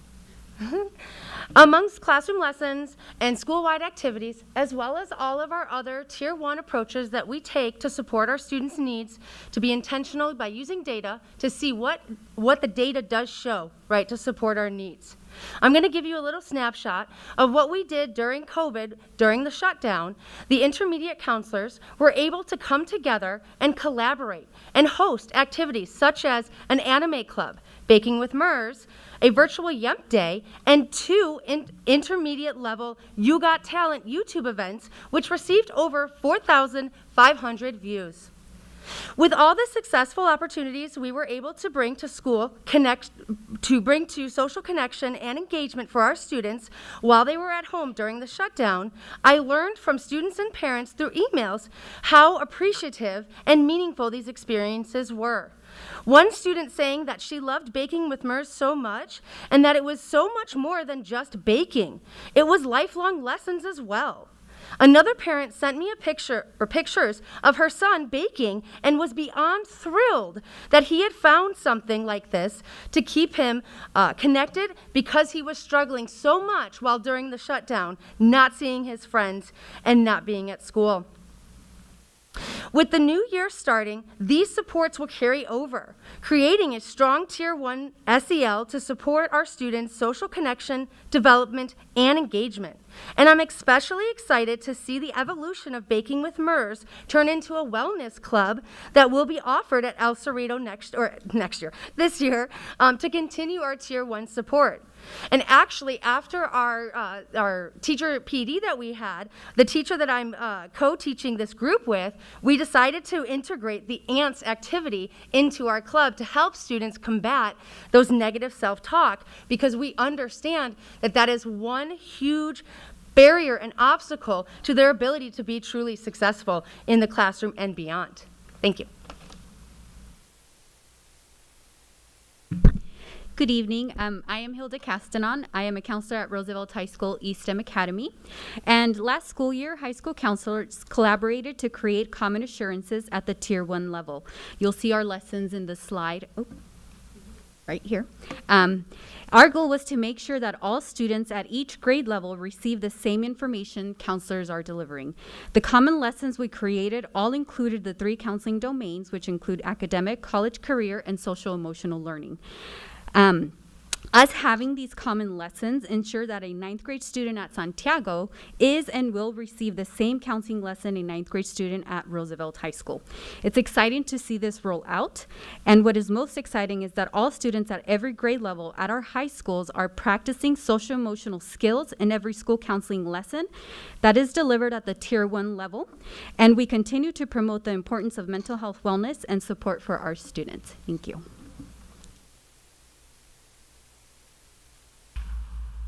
Good evening. Uh, I'm here tonight. We're going to talk about some Tier 2 uh, common assurances. I want to thank everyone for sharing those Tier 1, which are common assurances that are available for all students. So we're going to share some Tier 2 uh, common assurances that are uh, developed and designed for some students. Um, I want to start out by sharing uh, the steps um, program that's available at, yeah, go ahead, Mark. Yeah, so the STEPS program was, has always been available at some schools, but one of our tier two common assurances that we're doing is we will be uh, providing a STEPS program at every elementary school. So in the STEPS program, we have para-educators that are trained uh, to, design, uh, to help students with empathy, emotional management, anger management, and problem solving. Um, and in this video, um, you'll see one of our uh, own RSP para educators, Mrs. Infield, that trains our steps aides to provide uh, these interventions and this support to our students.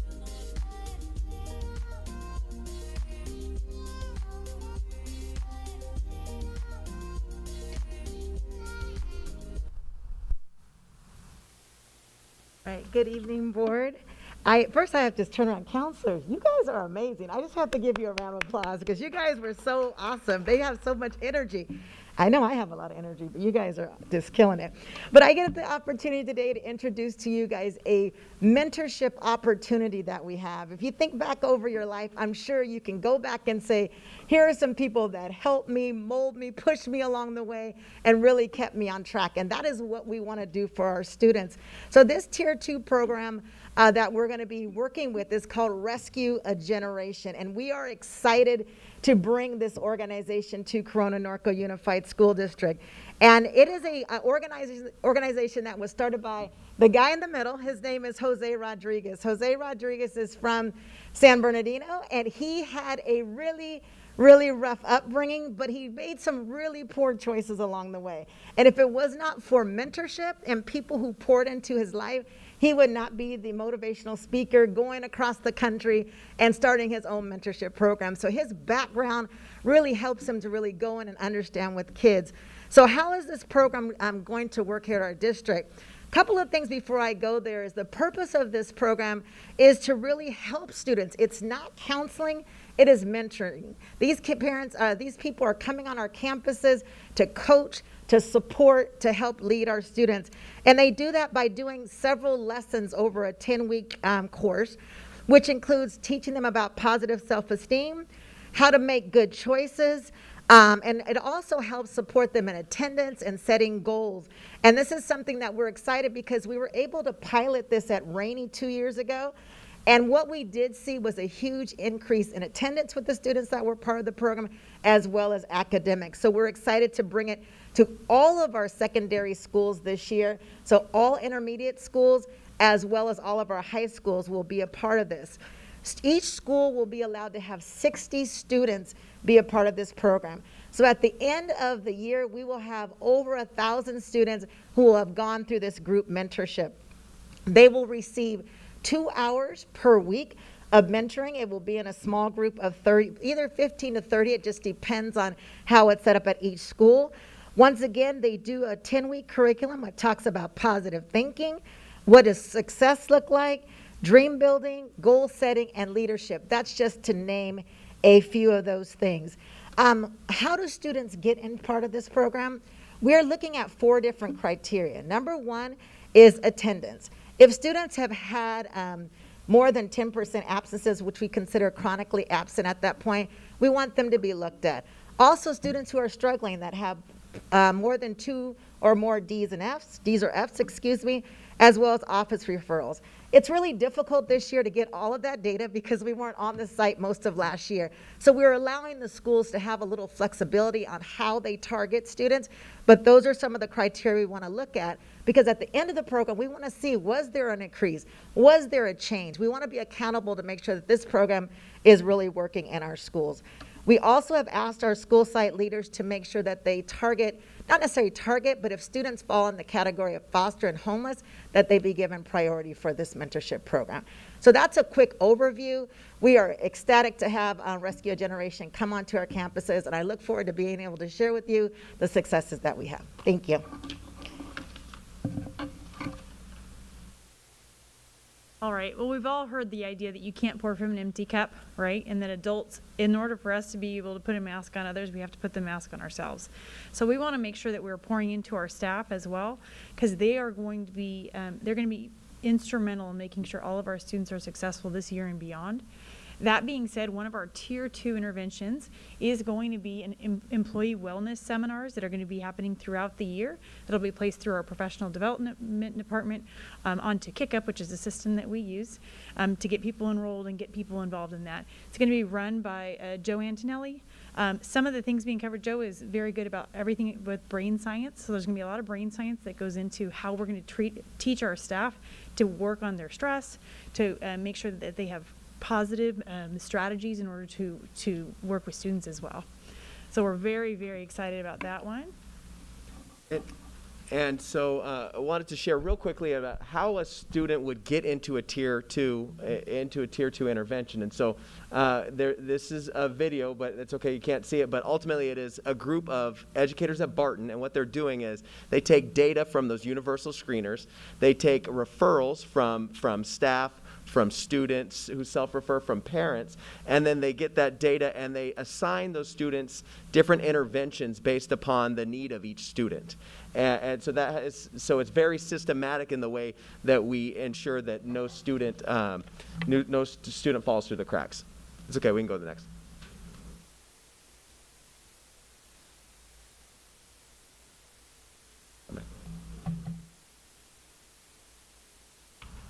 And then Alexis Goddard's going to come tell us some of the tier two work that our counselors do. Hello, everybody. My name is Alexis Goddard. I'm a school counselor at Centennial High School. Um, I also have the pleasure of serving as a board director for the California Association of School Counselors. Um, while they pull this up, we are going to be talking today about the Tier 2 and how school counselors use our skills in domains of academic, college and career, and social emotional to support our students. For us, while we're looking at our tier two, I'm gonna look at my notes because then I can't refer to that. Um, so we are proactively querying and assessing data to meet our district level and site needs. As you've heard, we collaborate at elementary, intermediate, and high school, but also articulate vertically to make sure that we're supporting students in different areas. This can include um, using our data from FastBridge, grades, GPA, attendance, behavior, along with data that may not be collected or seen through the data we have in our student information system. So through student needs assessment, our panorama data, and from student voice. We really take into account our student voice when we're looking at it. Just as Tier two, 1, our Tier 2 has some common assurances that are used district-wide. There we go. So for our common assurances, we have things that we deliver at every single site. From that would include our small groups, and like I said, some are based on site need, that depending on what we need. But some things are district-wide that we have to provide. For example, this year we know our grief and loss for our students are struggling. Many of our intervention counselors at our high schools have already started our grief and loss groups. I know today our intervention counselor at Centennial had her first group. I know Ms. Gonzalez shared with me that she's also starting her group. We also have um, a spike in stress and anxiety among our students. So that is one group that we're going to be offering right away across the board. Today, you're also going to have the chance to hear from some of the students who've been a part of these groups. Our tier two is not just small groups though. It can be large group workshops, either over a series, one time, or for an individual classroom need. If a classroom is struggling, like in the past, when I worked at El Cerrito, we went into those our special ed classrooms and provided them with self-management skills to help them because that was a need in those classes. As we're looking coming out of this pandemic, we're not only looking at our academic needs, but our social emotional needs to help our students be successful. When, as we go through the year, we also plan on collecting our data pre-post from our students' perspective along with that academic, behavior, and attendance data. And we will create, as you see, there's two data reports showcasing some of the data work from our Tier 2 interventions at Centennial and Roosevelt High School from last year. These data, um, these intervention groups targeted our students with three or more Fs at Centennial um, for our ninth grade Hispanic males, and at Roosevelt, it also targeted students with three or two or more Ds and Fs. We did see decreases. And we do plan on doing these groups this year to hopefully see more decreases. I do want to share with you a video of one of our students who participated in a grief and loss group at our intermediate level. This is a student who is now doing very well and became a leader in the group and is now using his skills he learned in group to support others. Oh, okay. Well, he is talking about how how effective his school counselor was and how supportive, and he looks forward to continuing it this year. On the next slide. Oh.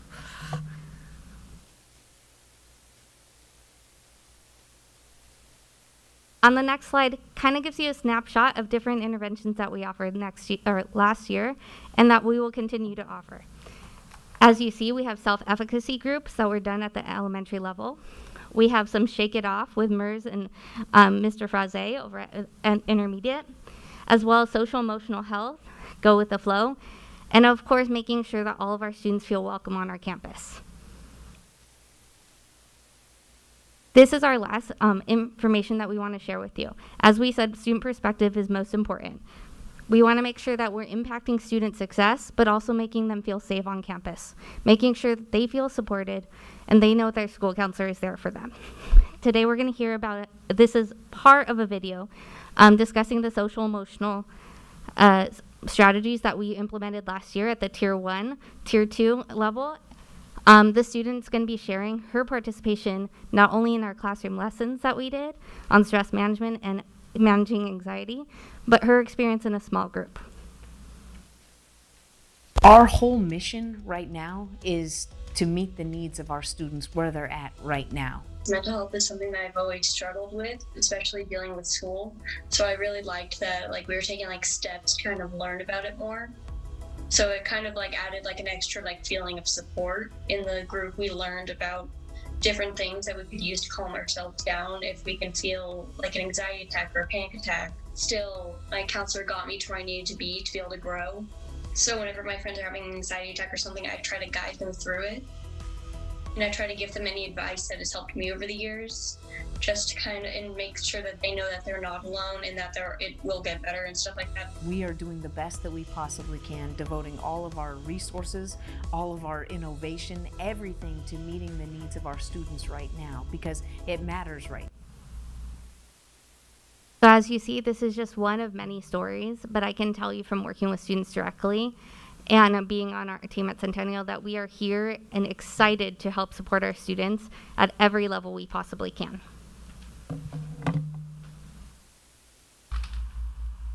Thank you. So we saw uh, common assurances in tier one. We saw common assurances in tier two. Now we're going to look at some common assurances in tier three.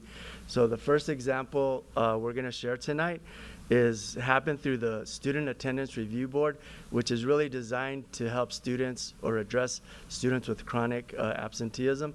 But let's take a look and see uh, how we use that Student Attendance Review Board to help some of our, of our neediest students. Imagine you're in this scenario. You're junior in high school, you're on track to graduate, everything is great. All of a sudden, your world turns upside down. We're in the middle of a pandemic. Now, you're not sure if you're going to graduate. You lose focus, you lose contact with your friends, and you lose contact with your school. What do you do now? This is the situation that we found ourselves in with many of our students here in Corona Norco Unified School District we turned to one of our processes that we already have in place, the Student Attendance Review Board. The Student Attendance Review Board is usually seen as a punitive and a negative process that we use to help students that have attendance issues. So we thought we can be proactive, be supportive, and help our students through this process to get them reconnected, to develop a plan, and to provide supports in order to get them to graduate. This is part of our overall umbrella, which is multi-tiered system of supports, which we take an old process that was not effective, and by being restorative and supportive, turning it into an effective practice. Of the 87 students that we met with, 75 of them actually graduated. The 12 that didn't are in summer school right now, working on graduation. What you'll see next are students that will share their story through this experience. About two months before we graduate, actually, um, people from the district they reached out to me and they let me know that I was in, I was like not going to graduate. I was in danger of not graduating, and they helped me set up a plan to graduate. I started going to the parent center, and it was great because it was a place for me to just think about work, just do my work for two, three hours and really get work done there. And my teachers at school were amazing. They were all so supportive. They all really wanted us to graduate. I want to thank everyone who helped me graduate. My teachers, the staff of the Parent Center, my family. I couldn't have done it without you. My name is Avani Gonzalez, and I graduated from Lee V. Pollard High School. Hi, thank you. I graduated. I made it. Thank you, Elia. Henry did it. My name is Tina Castellanos. I went to Corona High. Um, the SAR program helped me a lot. They pushed me to make it to the end because I was on the edge of not graduating. I plan on attending community college to become a teacher for kids with special needs. Thank you, Ms. Perry, for your help and your encouragement and telling me that I was going to make it to graduation. Hello, my name is Mark Gonzalez, and I would like to thank Ms. Elias for helping me out so much. I gave up a lot of hope thinking I wasn't going to graduate, and thanks to her, I'm able to graduate and be here. I'd like to thank um, Elia for helping me um, doing my school because at first I was not wanting to do this, and she really got on my case to do this, so I'm really thankful for her. My name is Gladys Jaramillo, and my experience on graduating was not as difficult as I once thought it would be. All I needed was some clarity, words of inspiration, which I did get from Dr. Elek and Mrs. Elia, who reached out throughout my whole process to graduation day. And I think by keeping in touch with these students who open up to you will really impact their goal to graduation. So, uh, great news out of the 87 students, uh, eight graduated in the summer school program, and the ones that didn't are currently enrolled and are on track to graduate either October or December. So, pretty much everyone we met with is on track to graduate or graduated. Um, and this is an example of a tier three uh, intervention or support for some students. Not every single student needs this much intervention, but there are some that need it, and that's that's what this system of support is set up to do. If they we don't catch them in that first tier, they slip to the second tier. We try to catch them there, and if they don't catch them there, we try to catch them in the third one. So this is a great example of that. And I just want to say that we worked in collaboration with all of the high schools. Um, they really supported us and helped us with it. We had a team that was available for them, and they took advantage of it. And, it, and as you can see, this is a, a huge success story. And I just want to point out, Elia is one of our child and welfare and attendance clerks, and she was on these kids every day, calling them, making sure they, they were doing what they needed to do, and these are the results. So, thank you.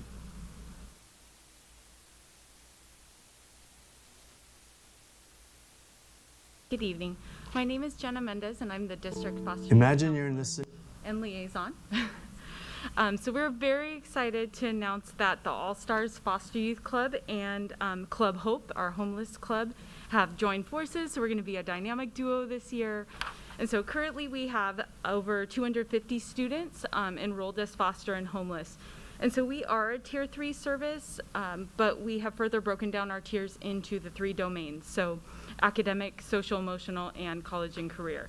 So because um, myself and Cassandra are overachievers and we love these kiddos, um, we've created a very full yearly plan um, with lots of events and supports for these students in each domain. So for academics, we assist with academic support, specific tutoring and interventions for both groups. Um, we were very proud that we had 14 out of 15 foster youth graduate last year, which is way above the average um, anyway, and that was in a pandemic with being there not even a couple months. Um, so that's a testament to all the counselors and all their hard work getting them to um, graduate and all the all-star supports we have in place. So we know that connection is really important and is the key. And so social emotional um, events that we have coming up, I send um, well, I send virtual birthday cards to every All-Star student and um, either their guardian or the student. Uh, we do monthly meetings, so all of the counselors meet monthly with these students. And elementary has created a curriculum across the board, so every elementary All-Star student is getting the same curriculum um, during that month. And then middle school last year decided to do all their events together, so they did um, a gingerbread a building contest online. They did a calming jar. They had cooking classes, different things to engage these students. And then high school, we have a lot of district-wide events that we provide, um, and also the counselors are meeting with them, um, meeting those needs. We have some family events coming up. So every grade level this year, foster and homeless is going to get some events. So we have a family art event coming up for elementary. We had our kickoff, a summer bonanza, um, where students came into the Parent Center and they got a whole new outfit and shoes and school supplies. We had, um, I think the there was a dental screening that was going on. We had our You Can Stop people there, um, tobacco prevention. They got lots of snacks and it was really great. Um, we're going to take the middle schoolers to the UCR High Ropes course to work on team building together. We have district celebrations, so we're going to do bingo night and then a graduation for all eighth grade and seniors this year. The families will get to come and celebrate with them for that. And um, just a lot of different things along the way. For our college and career, we have college visits. We're going to visit uh, Cal State University. We do that not, you know, when it was pandemic, but we're going back to that. And then um, Riverside County Office of Education and Norco College have their own college events that we attend for our foster and homeless students, and we help them with their college applications and Chafee grants. Um, I appreciate that this position was even created a couple years ago. It has really streamlined the process for um, myself helping with the registrars, the counselors, and the community agency, so it's so much more efficient. So I can get to those needs right away, and we don't have to wait for administrators or you know busy um, schools. And um, so some a story that I wanted to share a couple things. So our counselors have personally toured um, Eastvale Riverside and or Eastvale Corona Norco, dropping off items that we were um, given. So last year we were giving so many donation donations from um, RCOE, and they went to all of these homes. And one of the homes that I went to was a Victress Bowers student and and their family. There was a couple students in that homes, and they were just waiting at the door, seeing what I was dropping off, and their their families were so grateful. And um, when I dropped stuff off at the school, they were so grateful that they were part and included, because that doesn't always happen. And so we want to make sure that we're including all of our foster and, and homeless students. And then, um, so Roosevelt usually receives money from Circle City Rotary for their, they do a mentor event, a senior event at Silver Lakes, and they have, have dinner and do a special event. Well, we couldn't do that because of the pandemic. So Roosevelt decided to all get in the cars, the staff, and um, we went and got the Silver Lakes food anyway. Toured all over to the students' homes, caravanning, making lots of loud noise in the neighbor- neighborhood, and celebrating those seniors um, while they were, you know, on their front porch being totally embarrassed, and it was wonderful.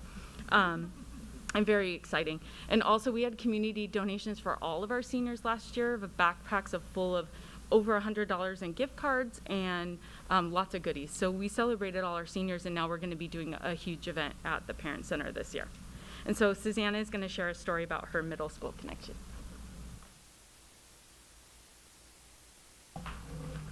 So last year, we had an all star student I desperately tried to connect with.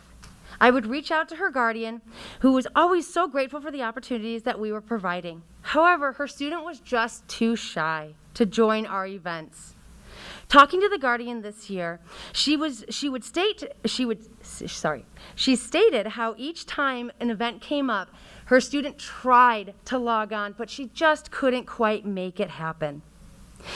When we came back into person learning last year, I was able to introduce myself to my All Star student and make a connection. I think I kind of scared her because I can be a little spastic, but it seemed like it was a good connection. I was surprised to hear that during our orientation this year, the student was looking for me. And the first thing she asked me was if we were going to have the same act or say, have activities to do this year, and she if she was going to be a part of them. My heart overflow, overflowed with joy because I had thought I wasn't making an impact to get her connected and involved, uh, um, and then realized how excited she is to start this new year, looking forward to all the All Star events that we have to come. So, with that being said, we don't always know we are making an impact, but we keep trying because who knows when the seeds we plant will blossom. Hello again, last time I promise. okay, how do I work that clicker? Yeah. Okay, so I'm here to talk about um, the intervention counselors, and uh, we are school based mental health professionals at the high school level that provide tier two and mostly tier three level services. We primarily work with students needing the most support. Students that are referred to us have presenting issues such as trauma, self harm, suicidal ideation, substance abuse. Um, diagnosed and undiagnosed mental uh, disorders such as depression, anxiety, PTSD, to name a few, as well as students on alternative placement contracts. And we serve as our on site foster youth counselors. We work with the students, the families, and school staff to link these identified students to interventions and counseling services both in and outside of the school. We provide small group and individual short term counseling. Thank you.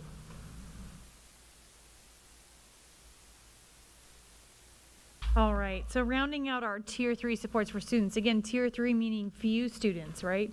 We've worked them through the tiers, we're trying to see how we're gonna create success with the students. So in tier three, what we have now is wraparound services. Those are services that are kind of help to get the family involved with other agencies. Perhaps it could be nighttime phone calls, that kind of stuff. Could be linkages to other mental health. We use Care Solace for much of that.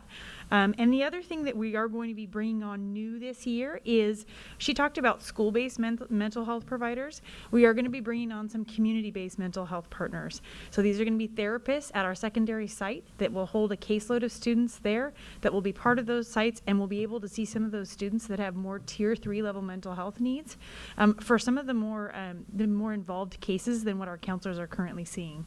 Um, so that's why it's very important to have that consistent process across the district so that we are funneling those services directly to those students who most need it. So as we close here, and uh, before we bring up Dr. Tompkins to close us down, we just wanted to show kind of our some of our uh, our pyramid of all of our mental health interventions, plus all the extra additional things our counseling team does. It's pretty uh, overwhelming. There's lots of things that we didn't talk about because there's more. Uh, we have more school nurses. We have an anti-bullying program. We have social work interns, um, but, but we don't have all night. So uh, we just wanted to say that uh, we're really proud of the work and let Dr. Tompkins come up here uh, and, and close us. I'm going to go ahead and speak uh, from my seat here. The, the main purpose of tonight um, was to make sure that these passionate folks behind us uh, had an opportunity to sort of sh share with you important information about the work that they've been doing, the work that we're planning on doing. Um, we are fortunate as a district office team to be able to walk alongside them and support their work. They're the superstars. It's not us. They're easy to support. Um, they want to do great things for our students, and, and it's in our best interest to support that as much as we can. Um, I, I, I, love this team, and I'm just so blessed to be um, to be a part of that. But your vision uh, as a board is, is what allowed us to put this plan together regarding some of this funding that came in. And uh, we are looking at ways to sustain. We know there's some things that are going to be tough to do that with, but it's it's in our it's in our goal, uh, and we're going to fight hard to do that. But right now, we wanted to address what our students need now, and we want to make sure that we can address that uh, as they're back on our campuses uh, full time. Now, there's time for questions.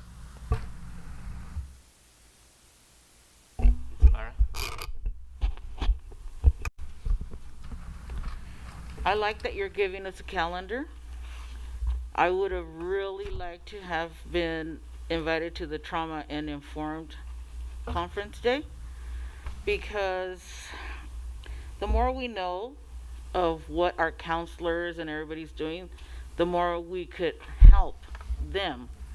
And um, I, I'm very happy that we have a counselor per school We've been asking for that for a few years now.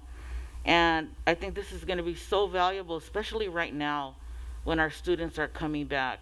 Like we keep hearing loss, anxiety, um, panic attacks. There's so much more. And we truly need these counselors. And they have way too much energy today. but thank you so much for what you do, counselors. We truly appreciate everything you do, and I know that you are so valuable on our, every campus that you guys are on. Thank you. I also want to echo what Mary said. Thank you so much. I am so excited with the elementary counselors beyond belief because it does start from the bottom, it goes up. And it's important because they know who you are. And so they'll be less comprehensive not to come and see you. And that's the big deal because touching every student, and I'm sure caseloads are tremendous and trying to do this on top of being a guidance counselor, you still need to do that. However, now your your focus is to get them back to par. That's what we want them to do. And I'm really excited about the uh, SAR program turning around the negativity to a positivity. So I see a lot of that in all your programs that we're trying to put in place where we're looking positively and, and giving the kid a chance. Give them a chance to succeed. And so I appreciate that. I really do. And whatever we can do in, in, in that respect, please let us know. Thank you. Um, great presentation, guys. Uh, I, I, think it's important for the remaining audience, but uh, probably more for the folks that might be still watching at home, um, to know that a lot of this isn't new. We're just taking it to a, a different level. Thank you, counselors, for nodding your heads, because I, I don't want folks to get the impression that we haven't been doing a lot of this all along. We're just really reining it in and, and, and mainstreaming it and, and, quite frankly, giving you guys um, more carte blanche, if you, if you will. And uh, I am absolutely going to echo what the, the lady said. Um, you know, we've been wanting um, counselors at every site for quite some time. Um, so just thrilled with that. I, it's just, I think it's a great use of the the influx of money. And uh, as you said, Dr. Thompson, we don't know what that's going to look like, but it's here, uh, and it's and Mary said it perfectly. Now more than than ever, um, it, it's something that is needed. I, I also I know we touched on, a couple of you touched on the summer boost. I'd like to, and uh, Reggie, you and I talked some about this, and, and Trish, um, uh, I, would like, because the summer boost was so successful. Um, we got, uh, you, you, guys laid out some numbers, um, incredible numbers of students who wouldn't have graduated, who caught up on credits this is the uh, emotional side, but the academic side ties into that emotion. So you guys are going to do have and will continue and going to do great things with this, but I, I'd like to see us somehow take take this amazingness and take the amazingness of the summer boost and somehow infuse the two. So we're so we're not dropping that, and I, I know I'm being redundant because I've said that multiple times, but I've said it because it's been successful. So I think if we can take the two concepts, infuse them, do after school. All all the things you guys are going to be doing anyways. Um, let's and I, I love that the teachers are having you in the classrooms and that you're you're getting invited in, especially now. It, it's just critical. So um, I, am I'm, I'm thrilled with that. Um, the wellness centers, there again, we have a lot of those already throughout the district and at, and at all levels. Um, so uh, there again, I think it's uh, important for folks to know that. And then I, I love the, I think Reggie, maybe you said it, but uh, I, I love it that we're not doing the once and done, and that we and appreciate Mary once again. You, I think you said it. Thanks for the the calendar uh, that we're doing it ongoing because we're, we're going to need it. Um, and then I'll, I'll end with just this. Uh, I really appreciate also that we're looking to not only help our students, which is, is critical and absolutely important, but um, our staff as well. Uh, because if, if they're not functioning at their highest levels, they're not able to do the job that they, they are um, slated to do. So uh, very, very comprehensive. Great job. Thank you. And if I may, Mr. Pollock, just a, a, another quick comment. Um, one of the other um, uh, pieces we wanted you to see that was the systemic nature of what we're doing. And, the, and when we look at those tiers, you know, these assurances within those tiers, but there's a process to move from one tier to the next. And the fidelity of that, of measuring that, the fidelity of sticking with that is very important. Uh, and we're still learning that. We don't have that down yet, but we're working on it. um, because we want to make sure um, that we are utilizing every resource that we have. We're efficient, we're comprehensive, and we're coordinated. And that's those are those are the terms that we're using as a group. And and as you see from the presentation, um, they're on board too. They're they're leading us. They're leading us um, uh, through this process. That was a, those are that's a that's a good presentation. It's, it's a little long for me, so I, I was taking notes and I stopped taking notes. But I'm just being honest. Yeah, I know, I know. And now I know how my students feel when I lectured from 7 to 9.30, so I know how it is. Okay, but anyway, you, you know, I'm, uh, I, I like the last phrase used by Dr. Tompkins. We're working on it. We're working on it. It reminds me of Paulo Freire's word, unfinishedness of our work. We work so hard to do this. And as I was listening, I have my own aunt.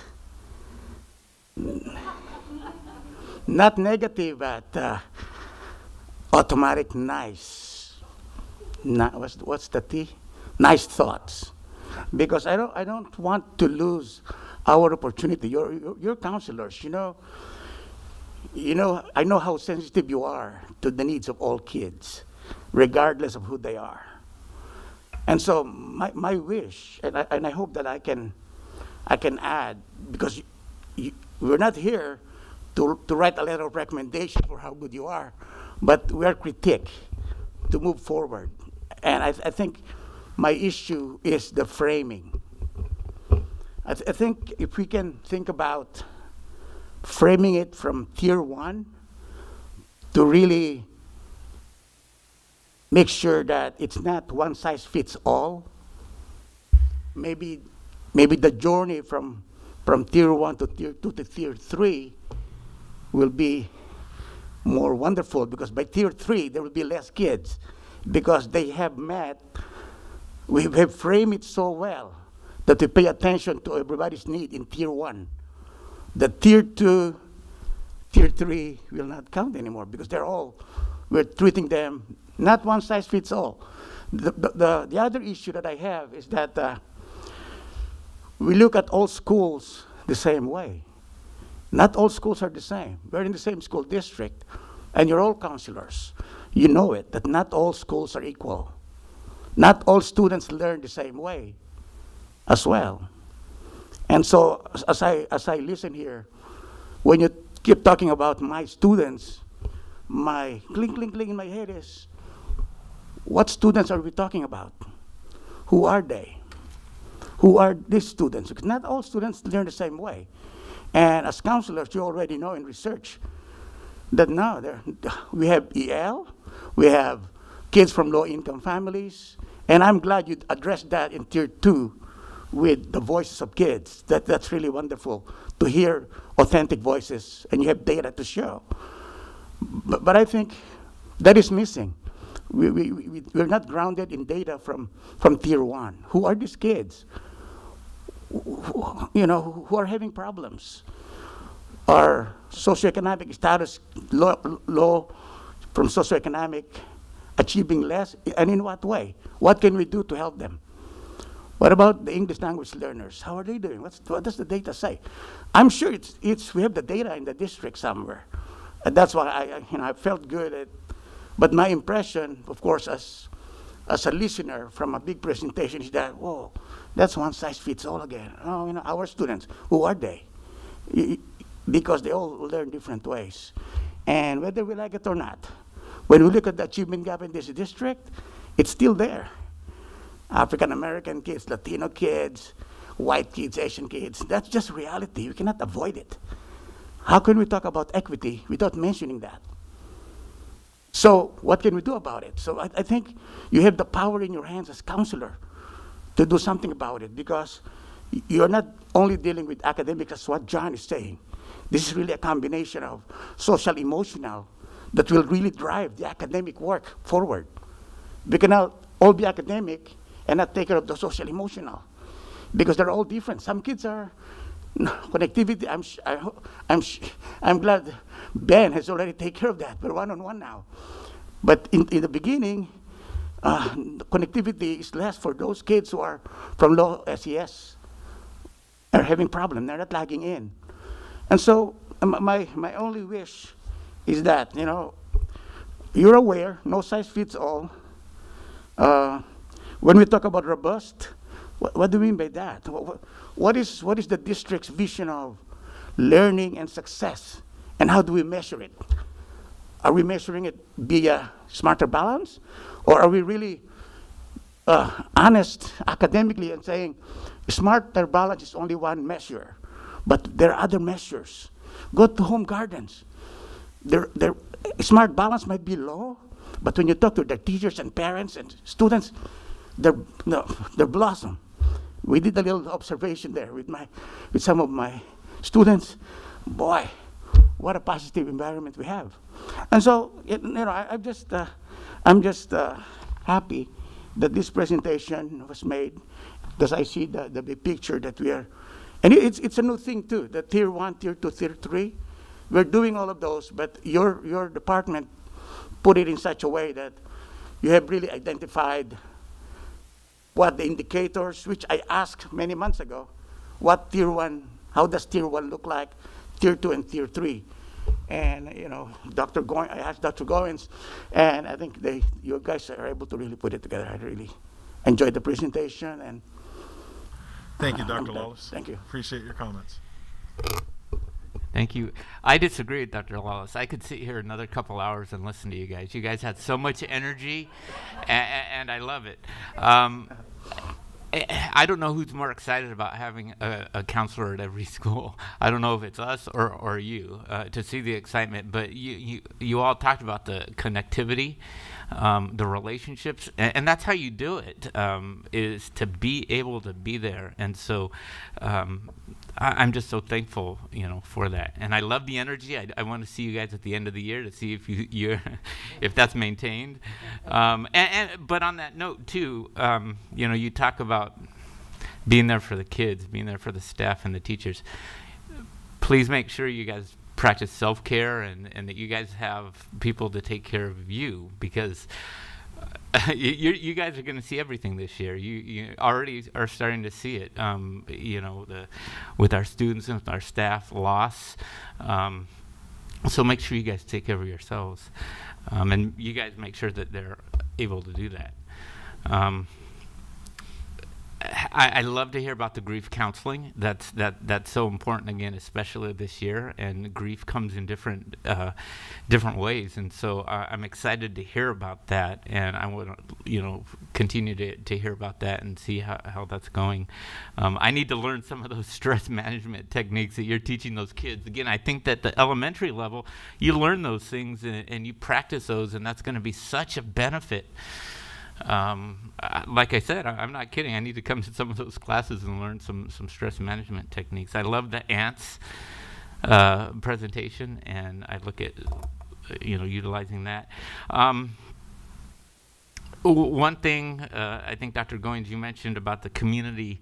Um, either you or, or Trish talked about the the community mental health providers and that's something that's so important to me. The the access that's one of my concerns uh, the access to mental health. I mean i see it in my private practice all the time when you know i get I call a psychiatrist or a psychologist and oh i'll see your, your patient in four months. Come on you know get real. That's that that's and I understand it, but I but I don't like it, and so that's one of my concerns. And the fact with the tier tier one having somebody at every school. I think that that is helping access tier two, tier three.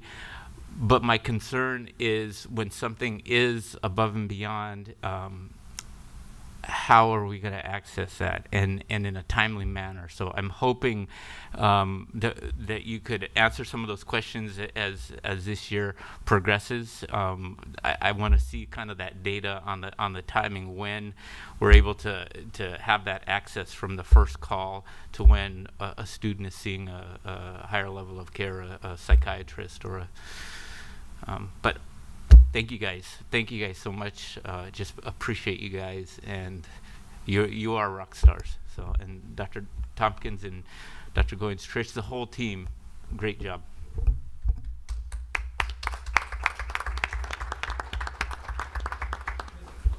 Mr. Pollock, I, I just want to, I'm not going to, it's already been said. I, th- think your comments have been spot on, all of you. Um, again, I do want to also thank uh, Dr. Uh, Tompkins for his leadership. It's already been said. Uh, Dr. Goins, uh, Dr. Illick, uh, Cassandra Willis, um, Mrs. Thompson, uh, Mr. Thomas, who jo- joined the team recently, but he's he was here with us, and Mr. Pfeiffer over there, and I don't want, and also Anita Shirley, who was really part of over the years this work that was presented today. So um, I like that comment about, that you said, uh, Mr. Tompkins, about uh, we don't really know what the future holds, but we need to provide these services now. Kind of reminds me of old. I'm going to go back to the 70s. George Allen made it popular a phrase. He said, "The future is now." I really believe that, that we need to address our, our students now. So anyhow, thank you so much, counselors. Thank you so much for being here. Appreciate it, everyone. Thank you. And again, I one one last thought that uh, you know you guys have been doing this for years, and and uh, um, we've had mental health issues in our society for years, and unfortunately, that's that's getting worse. And then the pandemic has just exacerbated this. So again, you guys are doing a great job, and and I look forward to seeing how things are going in the future. Mr. Reynoso, I did forget John. Sorry, John. John, thank you so much. That's that uh, the data that you d- displayed uh, really brought goosebumps of, of our of our students who were not going to be graduating. So thank you and uh, and Ellie and the whole team out there. Thank you so much. Yeah, great. Okay, um, we are going to um, move into closed session, and we will be back in a few minutes. Hmm? We have to report out.